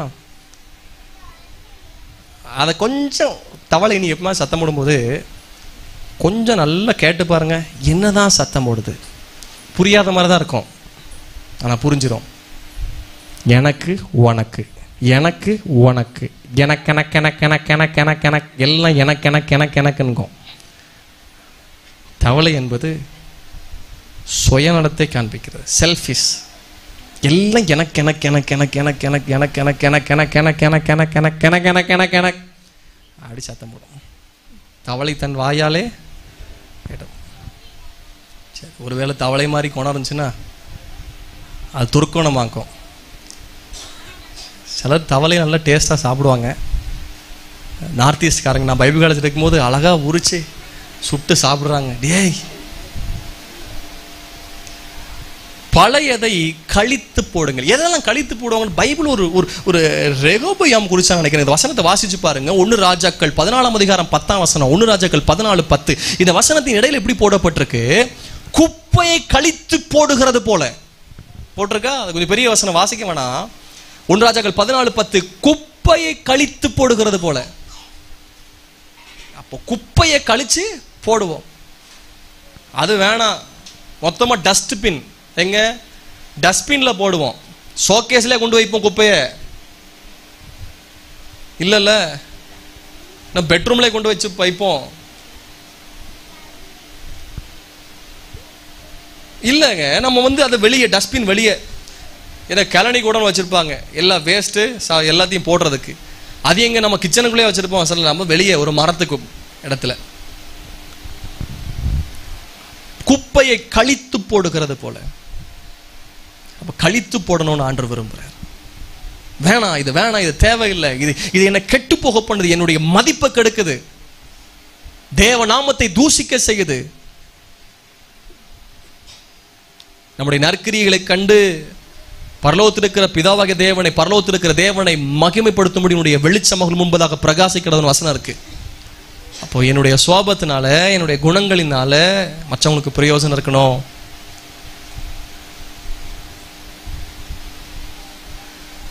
தானும் உருப்பிடுறது கிடையாது மற்றவனையும் உருப்பிட விடுறது கிடையாது இந்த ஸ்கூலில் கரணம் போட சொல்லுவாங்க அப்போ ரெண்டு பேருக்கு காதை பிடிச்சிட்டு அதெல்லாம் ஞாபகம் இருக்குது ஏய் சொல்கிறா உன்னால நான் கெட்டேன்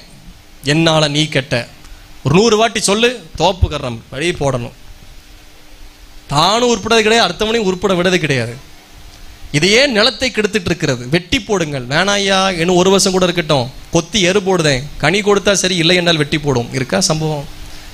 ஏன் நிலத்தை கெடுக்குது அந்த திராட்சை தோட்டத்தில் எல்லா உரத்தையும் இந்த மரம் எடுக்குது எல்லா தண்ணி இது எடுக்குது திராட்சை வேறெல்லாம் சின்ன சின்னதாக இருக்கும் அத்தி உரம் தான் தடிக்கு இருக்கும் தூரத்திலே அவைகளை கண்டு அத்திமுறை அவ்வளோ பெருசாக இருக்கும் தூரத்திலே பார்க்குற மாதிரி இருக்கும் தனக்கும் பிரயோஜனம் அடுத்தவனுக்கும் பிரயோஜனம் இல்லை இல்லை என் குணங்கள் நல்ல குணங்களாய் மாறட்டும் கழித்து போடுங்க ஒரு சிற்பிட்ட கேட்டாங்களாம் எப்பா இந்த எப்படி இந்த சிற்பத்தை வணஞ்சிங்க எப்படி இதை எடுத்தீங்க அவர் சொல்கிறாரா இது ஒரு கல் ஒரே கல்லில் செய்யப்பட்டது இந்த சிற்பம் இந்த கல்லுக்குள்ளே தான் இருந்துச்சு அப்போ என்ன பண்ணீங்க வேறு ஒன்றும் பண்ணலை ஒளியும் சுத்தியிலும் வச்சு வேண்டாதவைகளெல்லாம் அடித்து அடித்து அடித்து அடித்து எடுத்தேன் இந்த சிற்பம் இதுக்குள்ளே வந்துச்சு அதிலிருந்து அருமையான வாழ்க்கை பாடம் கற்றுக்கொள்ளலாம் என்னிடத்தில் வேண்டாதவைகளை அடித்து அடித்து நாம் கழித்து எடுக்க எடுக்க எடுக்க எனக்குள்ள புதிய மனுஷன் உருவாகிறான் அந்த கன்வென்ஷன் நாட்களை மாறட்டும் வேண்டாதவைகளை அழித்து எடுக்க எடுக்க எடுக்க எடுக்க எனக்குள்ள புதிய மனுஷன் உருவாகட்டும் அலலூயா என் இருதயம் எப்படி இருக்கிறது பழையவைகளை கழித்து போடுங்கள் வேணாம் சுத்தமாக இது தேவையில்ல கழித்து போட்டுருவோம் கற்று நமக்கு அந்த கிருபைகளை தருவாராங்க நான் சொன்ன மாதிரி தான் சிலருடைய வாழ்க்கை ஃப்ரிட்ஜ் மாதிரி தான் ஒருத்தர் சொன்னார் சிலருடைய ஃப்ரிட்ஜில் சங்க காலத்தில் வச்ச சாம்பார் கூட இருக்குமா சங்க காலத்தில் வச்ச சாம்பார் கூட ஃப்ரிட்ஜில் இருக்கு அந்த மாதிரி தான் எப்போ இல்லை பகை இருதயத்தில் மறைச்சி வச்சுட்டு நாற்பது வருஷம் இருக்கும் ஆனால் அந்த இது இன்னும் இருதயத்தில் அப்படி இருக்கும் கேன்சர் கட்டி மாதிரி ஒதுக்கி வச்சுருக்கோம் இருதயத்தில் அந்த யானை ஒதுக்குன மாதிரின்னு சொல்லுவாங்க அதுக்கு வேற சம்பவம் அதை மாதிரி ஒதுக்கி வச்சுருப்பாங்க இல்லை ஒதுக்குனது எல்லாத்தையும் கழிச்சு போடுங்க எங்க இன்னைக்கு சாப்பிட்ற சாப்பாடு நம்மகிட்ட ஜீரணமாகி வெளியே வரலன்னா பிரச்சனை இங்கே வயிற்றுல கழிச்சு போடணுமா இல்லையா அப்போ ஏன் இன்னைக்கு தவறான தேவையில்லாத காரியங்கள் வெளியே போகல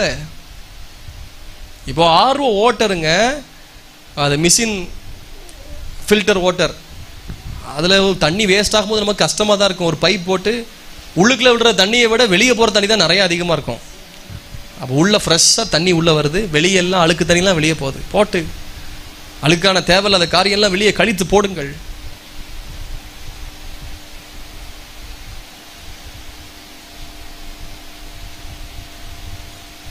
பிரசவ வார்டில்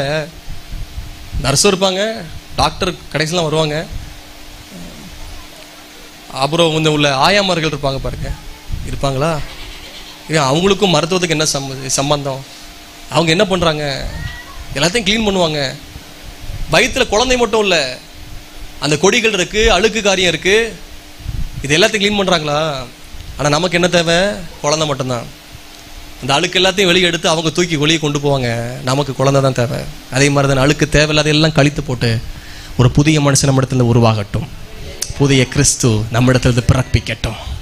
ஆண்டு விரும்புகிறார் புதுசு உருவாகணும் புதுசு வரணும்னா பழசு களைந்து போடப்படணும் பழசு கழித்து போடப்படணும் மூன்றாவது ரோமர் ஆறாம் அதிகாரம் ஆறாவது வசனம் ரோமர் ஆறாம் அதிகாரம் ஆறாவது வசனம் நாம் இனி பாவத்துக்கு ஊழியம் செய்யாதபடிக்கு பாவ சரிதம் ஒளிந்து போகும் பொருட்டாக நம்முடைய பழைய மனுஷன் அவரோடு கூட சிலுவையில் அறையப்பட்டதென்று அறிந்திருக்கிறோம் பழைய மனுஷன் அவரோடு கூட சேர்ந்து சிலுவையில் அறையப்பட்டது என்று அறிந்திருக்கிறோம் அப்போ பவுல் சொல்றார் நான் அறையப்பட்டேன்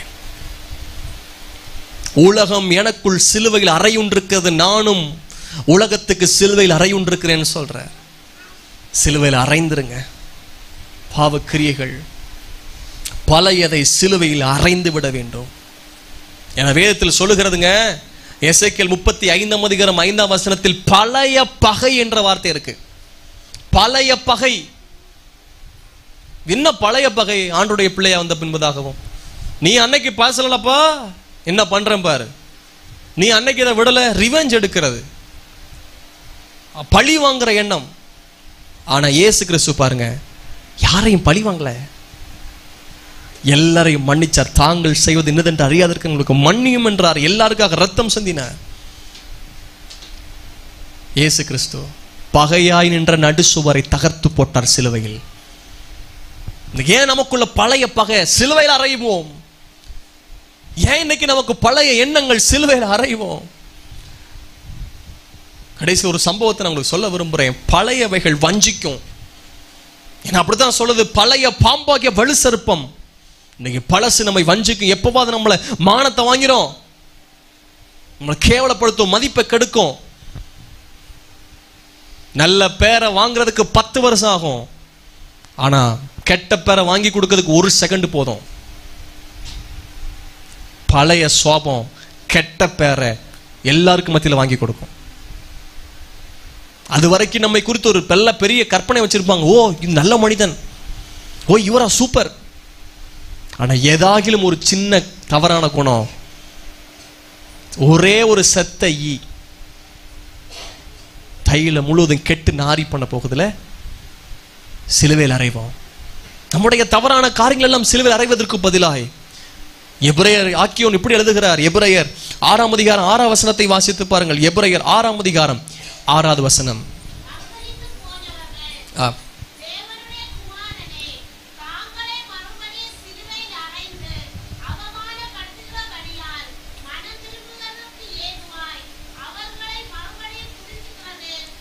கூடாத காரியம் இயேசுவே மறுபடி மறுபடி சிலுவை அரைஞ்சிட்டு இருக்காங்க அதனால புதுப்பிக்கிறதுக்கு கூடாத காரியமா இருக்கு நான் புதிதாக்கப்படணும்னா ஏன் பழைய காரிய சிலையில் அறையப்படணும்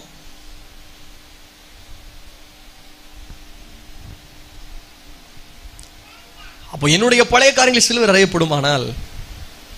பாவத்துக்கு சாகணும் பழைய காரியங்கள் சாகணும் நான் புதிதாக்கப்பட முடியும் ஆமேன் என்னை உடைச்சாதான் அன்று புதுசாக்குவார் நான் உருகி போனதான் என்ன புதிதாக்க முடியும் அந்த மண் கெட்டு போச்சு அவர் என்ன பண்ண தமக்கு சித்தமானபடி தம்முடைய பார்வைக்கு ஏற்றபடி வேறு பாண்டமாய் திரும்ப திருத்தி திருகைகளை வணைந்தார் என புதிதா வணங்க மகிமையின் பாத்திரமா கனத்துக்குரிய பாத்திரமா உகந்த பாத்திரம் என திரும்ப வணங்க ஆண்டவர் பழையது சிலுவையில் அரைந்து விடுங்கள் வேதம் சொல்லுது ஒருவன் கிறிஸ்துவுக்கு இருந்தால் புதிய சிருஷ்டியா இருக்கிறான் பழையவைகள் ஒளிந்து போயின எல்லாம் புதிதாகின பழையவைகள் ஒளிந்து போகின பழையவைகள் ஒளிந்து போகணும் பழையவைகள் ஒளிந்து போகணும் பழைய கிரியைகள் ஒளிந்து போகட்டும் ஏதோ ஒரு பண்டிகை கொண்டாடுவாங்கள போகி பண்டிகை பழசெல்லாம் போட்டு வெளியே எடுத்து க்ளீன் பண்ணுவாங்க ஒவ்வொரு வருஷமும் அப்படி ஒரு பண்டிகை இருக்குது நாம் ஒவ்வொரு நாளும் நம்முடைய பழையவைகள் அழிக்கப்பட பழையவைகள் எடுக்கப்பட கழிக்கப்பட ஒப்பு கொடுப்போம் தீத்து மூணாம் அதிகார ஐந்தாம் வசனம் தாவியானுடைய புது புதுப்பிக்குதல் வசனம் சொல்லுது புதிதாக்குதல் தாவியானுடைய புதிதாக்குதல் பரிசு தாவியானவர் நம்மை புதிதாக வசனத்தை வாசிங்க தீர்த்து மூன்றாம் அதிகாரம் ஐந்தாம் வசனம் ஆ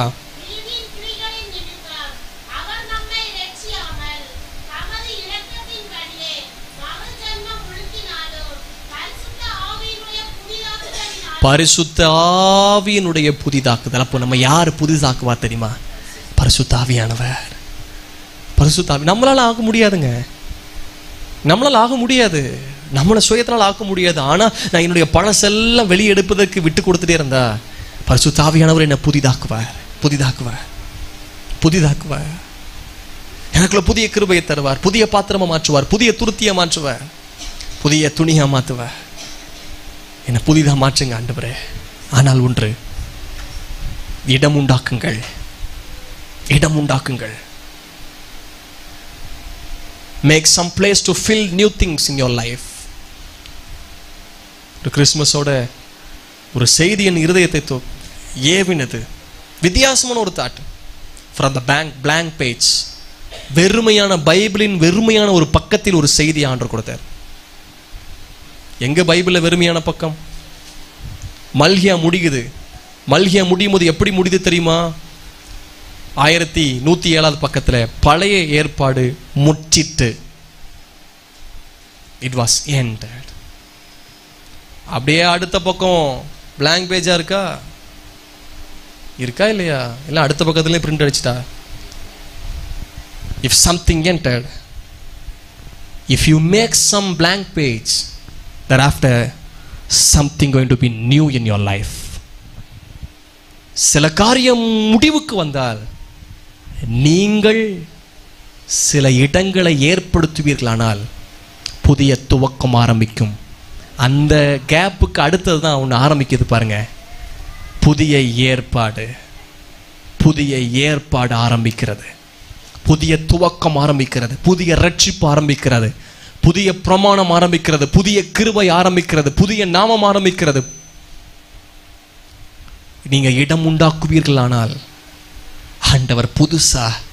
உங்களை வணைய விரும்புகிறார் வணைய விரும்புகிறார் இந்த இந்த இந்த நாள் கூட முடிவதற்கு என்ன சில நிமிடங்கள் மட்டும்தான் இருக்கு பழைய குப்பைகள் பழைய கழிவுகள் எடுப்பதற்கு பல மணி நேரம் ஆகும் பல இடங்களில் ஆனால் நம்முடைய இயேசுவால் ஆவியானவரால் ஒரு செகண்ட் கூட போதும் ஆனால் நீங்கள் ஒப்பு கொடுத்தா பழையவைகளை எடுத்து வெளியே எரிவதற்கு நீங்கள் இடம் கொடுத்த கூட்டம் முடிவதற்குள் நம்மை ஆண்டவர் பழைய எல்லாவற்றையும் வெளியேற்றி சுத்திகரிக்க வல்லமை உள்ளவராக இருக்கிறார் பழையவைகள் சில நேரத்தில் நம்ம வஞ்சிக்குங்க இந்த ஒன்றை மட்டும் பார்க்க போகிறோம் யோசுவாவின் புத்தகம் ஆறாம் அதிகாரத்தில் எரிகோவை ஜெயிக்கிறாங்க ஏழாம் அதிகாரத்தில் ஆயிப்பட்டினத்துக்கு போனாங்க ஆயிப்பட தோத்து போனாங்க மறுபடியும் எட்டாம் அதிகாரத்தில் ஆயிப்பட்டினம் போய் ஜெயித்தார்கள் ஒன்பதாம் அதிகாரத்தை திருப்புங்கள் யோசுவா ஒன்பதாம் அதிகாரம் யோர்தானுக்கு இப்புறத்திலே மலையில் உள்ள பள்ளத்தாக்கிலையும் லீபனோனுக்கு எதிராக பெரிய சமுத்திரத்தின் கரையோரம் உள்ள ஏத்தியரும் எமோரியும் காணானியரும் பெருசியரும் ஏவியரும் எபூசரியும் மாணவருடைய சகல ராஜாக்களும் அதை கேள்விப்பட்ட போது அவர்கள் ஒருமனப்பட்டு யோசுவாவோடும் இஸ்ரேவேலோடும் யுத்தம் பண்ண ஏகமாய் கூடினார்கள் எரிகோக்கும் ஆயுக்கும் யோசுவா செய்த கிபியோனின் குடிகள் கேள்விப்பட்ட போது எங்க ஆயு பட்டத்துக்கும் எரிகோக்கும் பண்ணதை கேள்விப்பட்ட போது நாலாம் வசனம் முக்கியம் நாலஞ்சு வசனத்தை கவனிங்க எல்லாரும் கவனிங்க யோசுவா ஒம்பது நாலு அஞ்சு ஒரு தந்திரமான யோசனை பண்ணி பிசாசுடைய குணம் தந்திரவாதி ஆதியா மூன்றாம் அதிகத்தில் அப்படித்தான் ஆரம்பிக்கிறது சர்ப்பம் தந்திரம் உள்ளது தந்திரமான யோசனை பண்ணி தங்கள் தங்களை ஸ்தானாதிபதிகள் போல காண்பித்து பழைய ரெட்டுப்பைகள் பழைய என்ற வார்த்தைகள் எல்லாம் நோட் பண்ணுங்க பழைய ரெட்டுப்பைகள் பீரலும் பொத்தலுமான பழைய திராட்சரச துருத்தி தங்கள் கழுதையின் மேல் வைத்து பழுதுபாக்கப்பட்ட பழைய பாதரட்சைகள் தங்கள் கால்களில் போட்டு பழைய வஸ்திரங்களை உடுத்தி கொண்டார்கள் வழிக்கு அவர்கள் கொண்டு போன அப்பமெல்லாம் உலர்ந்ததும் பூசணம் பூத்ததுமா இருந்துச்சு என்னெல்லாம் பழைய ரெட்டு பை பழைய திராட்சரச துருத்தி பழைய பாதரச்சை பழைய வஸ்திரம் பழைய சாப்பாடு யாரை ஏமாத்துறதுக்கு யோசுவாவை ஏமாந்தாரா ஏமாந்தார்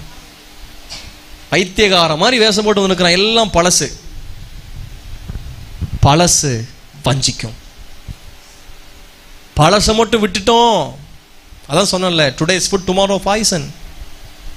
பழசை கொஞ்சம் மீதியாக வச்சிட்டோம் பின்னாட்கள் பெரிய விளைவை ஏற்படுத்தும் ஆபத்தை ஏற்படுத்தும் யோசோ மூன்று இடத்தில் மட்டும் ஏனாக்கியில் அழிக்காமல் விட்டார் காத்து காசாத் அஸ்தோத் இந்த மூன்று இடத்திலும் பிரச்சனைகள் எழும்பினது சிம்சோன்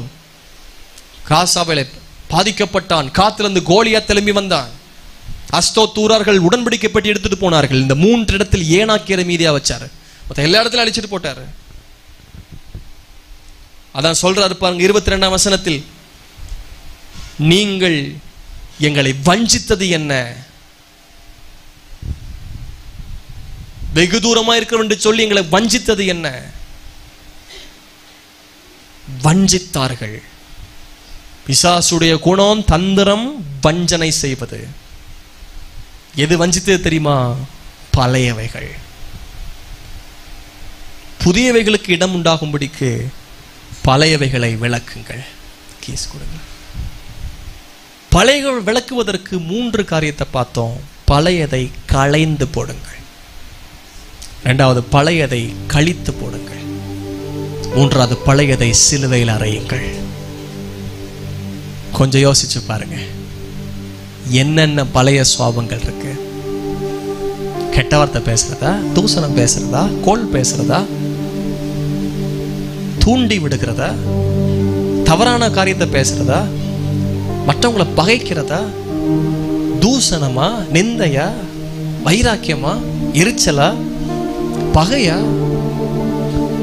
மற்ற எல்லாத்துலயும் நல்லா இருக்கலாம் ஆனா அன்பு மட்டும் இருக்காது ஏதாகிலும் சில தவறான காரியங்கள் இருக்குமானால் ஆண்டவரே எனக்கு இந்த பழசெல்லாம் மாறதுக்கு என்ன ஒப்பு கொடுக்குறேன் நீ பழசு மாறதுக்கு ஒப்பு கொடுக்குறேன் நீங்க ஒப்பு கொடுத்தீங்களானால் நிச்சயமா சொல்றேன் உங்க வாழ்க்கை புதுசாகிறது மட்டுமல்ல வாழ்க்கைக்கு தேவையான அனைத்தையும் ஆண்டு புதிதாக்குவார் புதிதாக்குவார் புதிதாக்குற ஒரு தெய்வன் இருக்கிறார் பெரிய கொலைக்காரன் அநேகரை கொலை செய்து குளியில் தூக்கி போட்டான் மனைவி மேல அநேக சூடு சிகரெட்டினால் ஒரு பெரிய படைமுயற்சி கூட்டத்தில் பிரசங்கியார் பிரசங்கம் முடித்து முன்பதாக மேகமா முன்னாடி ஓடி வந்த ஐயா என் கூட கார்ல வரணும்னு சொன்னான் எல்லாரும் பயந்தார்கள் பெரிய கொலைக்காரன் இவர் கூட ஏன் போனோம் அவன் சொல்றான் ஏன் கார்ல தான் வரணும் வேற யாரும் கூட வரக்கூடாது கூட்டத்துக்கு அழைத்தவர்கள் பயந்தார்கள் ஏன் கூட அனுப்பணும் ஏன் போனோம் அந்த ஊழியர் போனார் ஒரு காட்டு கூட்டு போனா ஐயா எத்தனை பேரை கொலை இந்த கிணத்துல போட்டிருக்கேன் ஏசு என் பாவத்தை மன்னிப்பாரா சொன்னார் ஏசு என் பாவத்தை மன்னிப்பார் வேங்கி ஏங்கி அழுதான் மறுபடி காரை எடுத்துட்டு வீட்டுக்கு கூட்டு போறான் அங்கே எலும்பும் தோலுமா ஒரு பெண் சரீரம் முழுவதும் பற்களோடு இருக்கிறாங்க சிகரெட் வச்சு சூடாக சொன்ன ஐயா இது என் மனைவி நான் இவளை அவ்வளவு துன்புறுத்திருக்கிறேன் கொடுமைப்படுத்திருக்கிறேன் ஏசு என் பாவத்தை மன்னிப்பாரா இயேசு என்ன மாற்றுவார் அவர் சொன்னார் நீ உன் பாவத்தை அறிக்கையிட்டார் இயேசு மன்னிப்ப தன் பாவங்களை மறைக்கிறவன் வாழ்வடைய மாட்டான் அவைகளை அறிக்கை செய்து விட்டு விடுகிறவனும் இரக்கம் பெறுவான் நீ அறிக்கை செய்வது மட்டுமல்ல அதை விட்டு விடுவதற்கு ஏதாகும் தேவையில்லாத சில காரியம் இருக்குமானால் விட்டு விடுவதற்கு என்னை ஒப்பு கொடுங்க அந்த இரவிலே அவனுக்குள்ள இனம் புரியாத சந்தோஷம் இருதயத்தை நிரப்பினது அவன் புதிய மனுஷனா மாறினான் இந்த உலகத்தில் யாரும் புதிய மனுஷனாக மாற்ற முடியாது வேணா சில பொருளை புதுசாக்குற மாதிரி காண்பிக்கலாம் உடஞ்சி போன பொருளை ரிப்பேர் ஆன பொருளை புதுசு மாதிரி அவன் வெளிப்படுத்த காண்பிக்கலாம் ஆனால் ஒரு மனிதனுடைய வாழ்க்கை இந்த உலகத்தில் ஒருவனாலும் புதிதாக்க முடியாது அது ரச்சகராக இயேசு கிறிஸ்துவால் மட்டும்தான் முடியும் ஒருவேளை வாழ்க்கை கெட்டு போய் ஜீவியம் கெட்டு போய் இந்த சத்தத்தை யாராங்களும் கேட்டுக்கொண்டிருக்கலாம் என் வாழ்க்கை கெட்டு போச்சு என் பிள்ளையின் வாழ்க்கை கெட்டு போச்சு என் கணவரின் வாழ்க்கை கெட்டு போய் விட்டது என் மனைவியுடைய வாழ்க்கை கெட்டு போய்விட்டது என் பேரப்பிள்ளைகளுடைய வாழ்க்கை கெட்டு போய்விட்டது ஆண்டவர் இயேசுவால் மறுபடியும் மதுரமாய் மாற்ற முடியும் இந்த இயேசு கிறிஸ்துவின் ரத்தம் சகல பாவத்தை நீக்கி கழுவி சுத்திகரிக்கும் இயேசு கிறிஸ்துவின் ரத்தம் இந்த இடத்துல வெளிப்படட்டு எல்லாரும் ஜப நடைமையில கண்களை மூடி முழங்கால் படி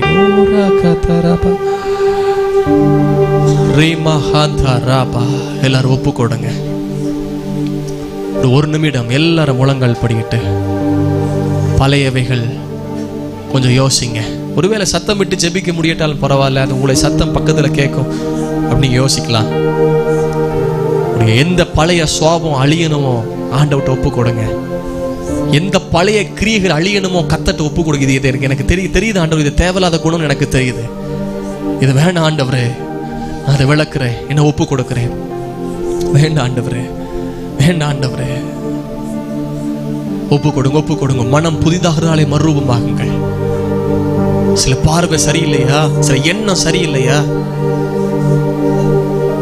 சில செய்கைகள் தவறான செய்கைகளா இருக்கிறதா வார்த்தைகள் என் அறியாமலே ஹேர்ட் பண்ற மாதிரி பேசிடுறேன் என் அறியாமலே தேவையில்லாம நான் பேசிடுறேன் குணங்கள் கெட்டு போயிருக்கிறதா என்னை மன்னிச்சிருக்காண்டு மன்னிச்சிருக்கேன் சில வினாடிகள் உங்கள் அருமையான நேரம் தருணம் கொடுக்கப்படுகிறது இன்றைக்கு இரச்சனையத்தினால் இன்றைக்கு அனுக்கிரகத்தின் காலம் this is day of salvation இந்த நேரம் இந்த வினாடிகள்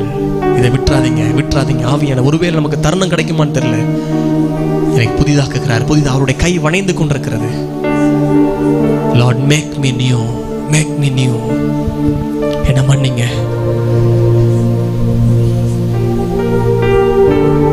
வேண்டாத காரியங்களை முன் வைக்கிற ஆவியானவர் என்னை புதிய மனுஷனாக மாற்றுங்க புதிய சிருஷ்டியாக மாற்றுங்க பழையவைகளை கழித்து போட ஆவின உதவி செய்கிறார் ஷாக்கா மஹாந்தானா நல்ல நல்ல நிறைய சோபங்கள் இருக்கலாம் ஆனால் கெட்ட சில சோபங்கள் உங்கள் ஜீவியத்தையும் அழிச்சிட்டு இருக்கலாம் you might be a servant of God நீங்க கூட தேவனுடைய ஊழியத்தை கூட செய்யலாம் ஆனாலும் சில குணங்கள் முழு சாட்சியை கெடுத்து கொண்டிருக்கலாம் ஆண்டவர் இந்த பழையவைகள் விலகட்டும் பழையவைகள் விலகட்டும் பழையவைகள் ஒளிந்து போகட்டும் பழைய காரியங்கள் ஒளிந்து போகட்டும் சகரகதரபலதரபா ரீமகதரபா ரீபா சகதரகதரா எங்களை ஒப்பு கொடுக்கிறோம் ஆண்டவரே அர்ப்பணிக்க விரும்புகிறவர்கள் கைகளை உயர்த்தி அர்ப்பணிக்க முடியுமானால் கைகளை உயர்த்தி ஆண்டவரே நான் உங்களுக்காக ஜெபிக்கிறேன் தகப்பனே எல்லாரையும் புதிதாக்குங்க புதிதாக்குங்க புதிய சிருஷ்டியா எங்களை மாற்றுங்க புதிய மனுஷனா எங்களை மாற்றுங்க புதிய மனுஷனா எங்களை மாற்றுங்க ஆண்டவர் எல்லாரையும் மாற்றுங்க தன்னை அர்ப்பணிக்கிற ஒவ்வொருவரையும் பெரியவர்களையும் சிறுவர்களையும் வாலிபர்களையும் ஆன்லைன் வழியாக கேட்குறவங்களையும் ஸ்பீக்கர் வழியாக சத்தத்தை வெளியே கேட்குற எல்லாரையும் புதிதாக்குங்க புதிதாக்குங்க உங்கள் ரத்தம் புதிதாக்கட்டும் கழுவி சுத்திகரிக்கட்டும் cleanse every one a lot cleanse in the heart with your praise is blood Lord cleanses cleanses சாக்கா பாக்காரா ரே வாலிப பிள்ளைகளை ஒருவேளை சில தேவையில்லாத சில காரியங்கள் இருக்குதா உங்களை அது உங்களை உங்களை இது ஆளுகை செய்தோ அந்த குணங்கள் ஆண்டவர்கிட்ட ஒப்பு கொடுங்க என்னை மன்னிச்சிருங்க என்னை சுத்திகரிச்சிருங்க ஆண்டவரே இயேசு உங்களை சுத்திகரித்துட்டு இருக்கிறார் பழையவைகள் ஒளிந்து கொண்டே இருக்கிறது பழையவைகள் மாறிக்கொண்டே இருக்கிறது பழையவைகள் அழிந்து கொண்டே இருக்கிறது எனக்கு ஒரு முற்றுப்புள்ளி அதுக்கு வைங்க இனி நான் பழைய காரியத்தை செய்ய மாட்டேன் இனி இந்த பழைய காரியத்தை நான் யோசிக்க மாட்டேன்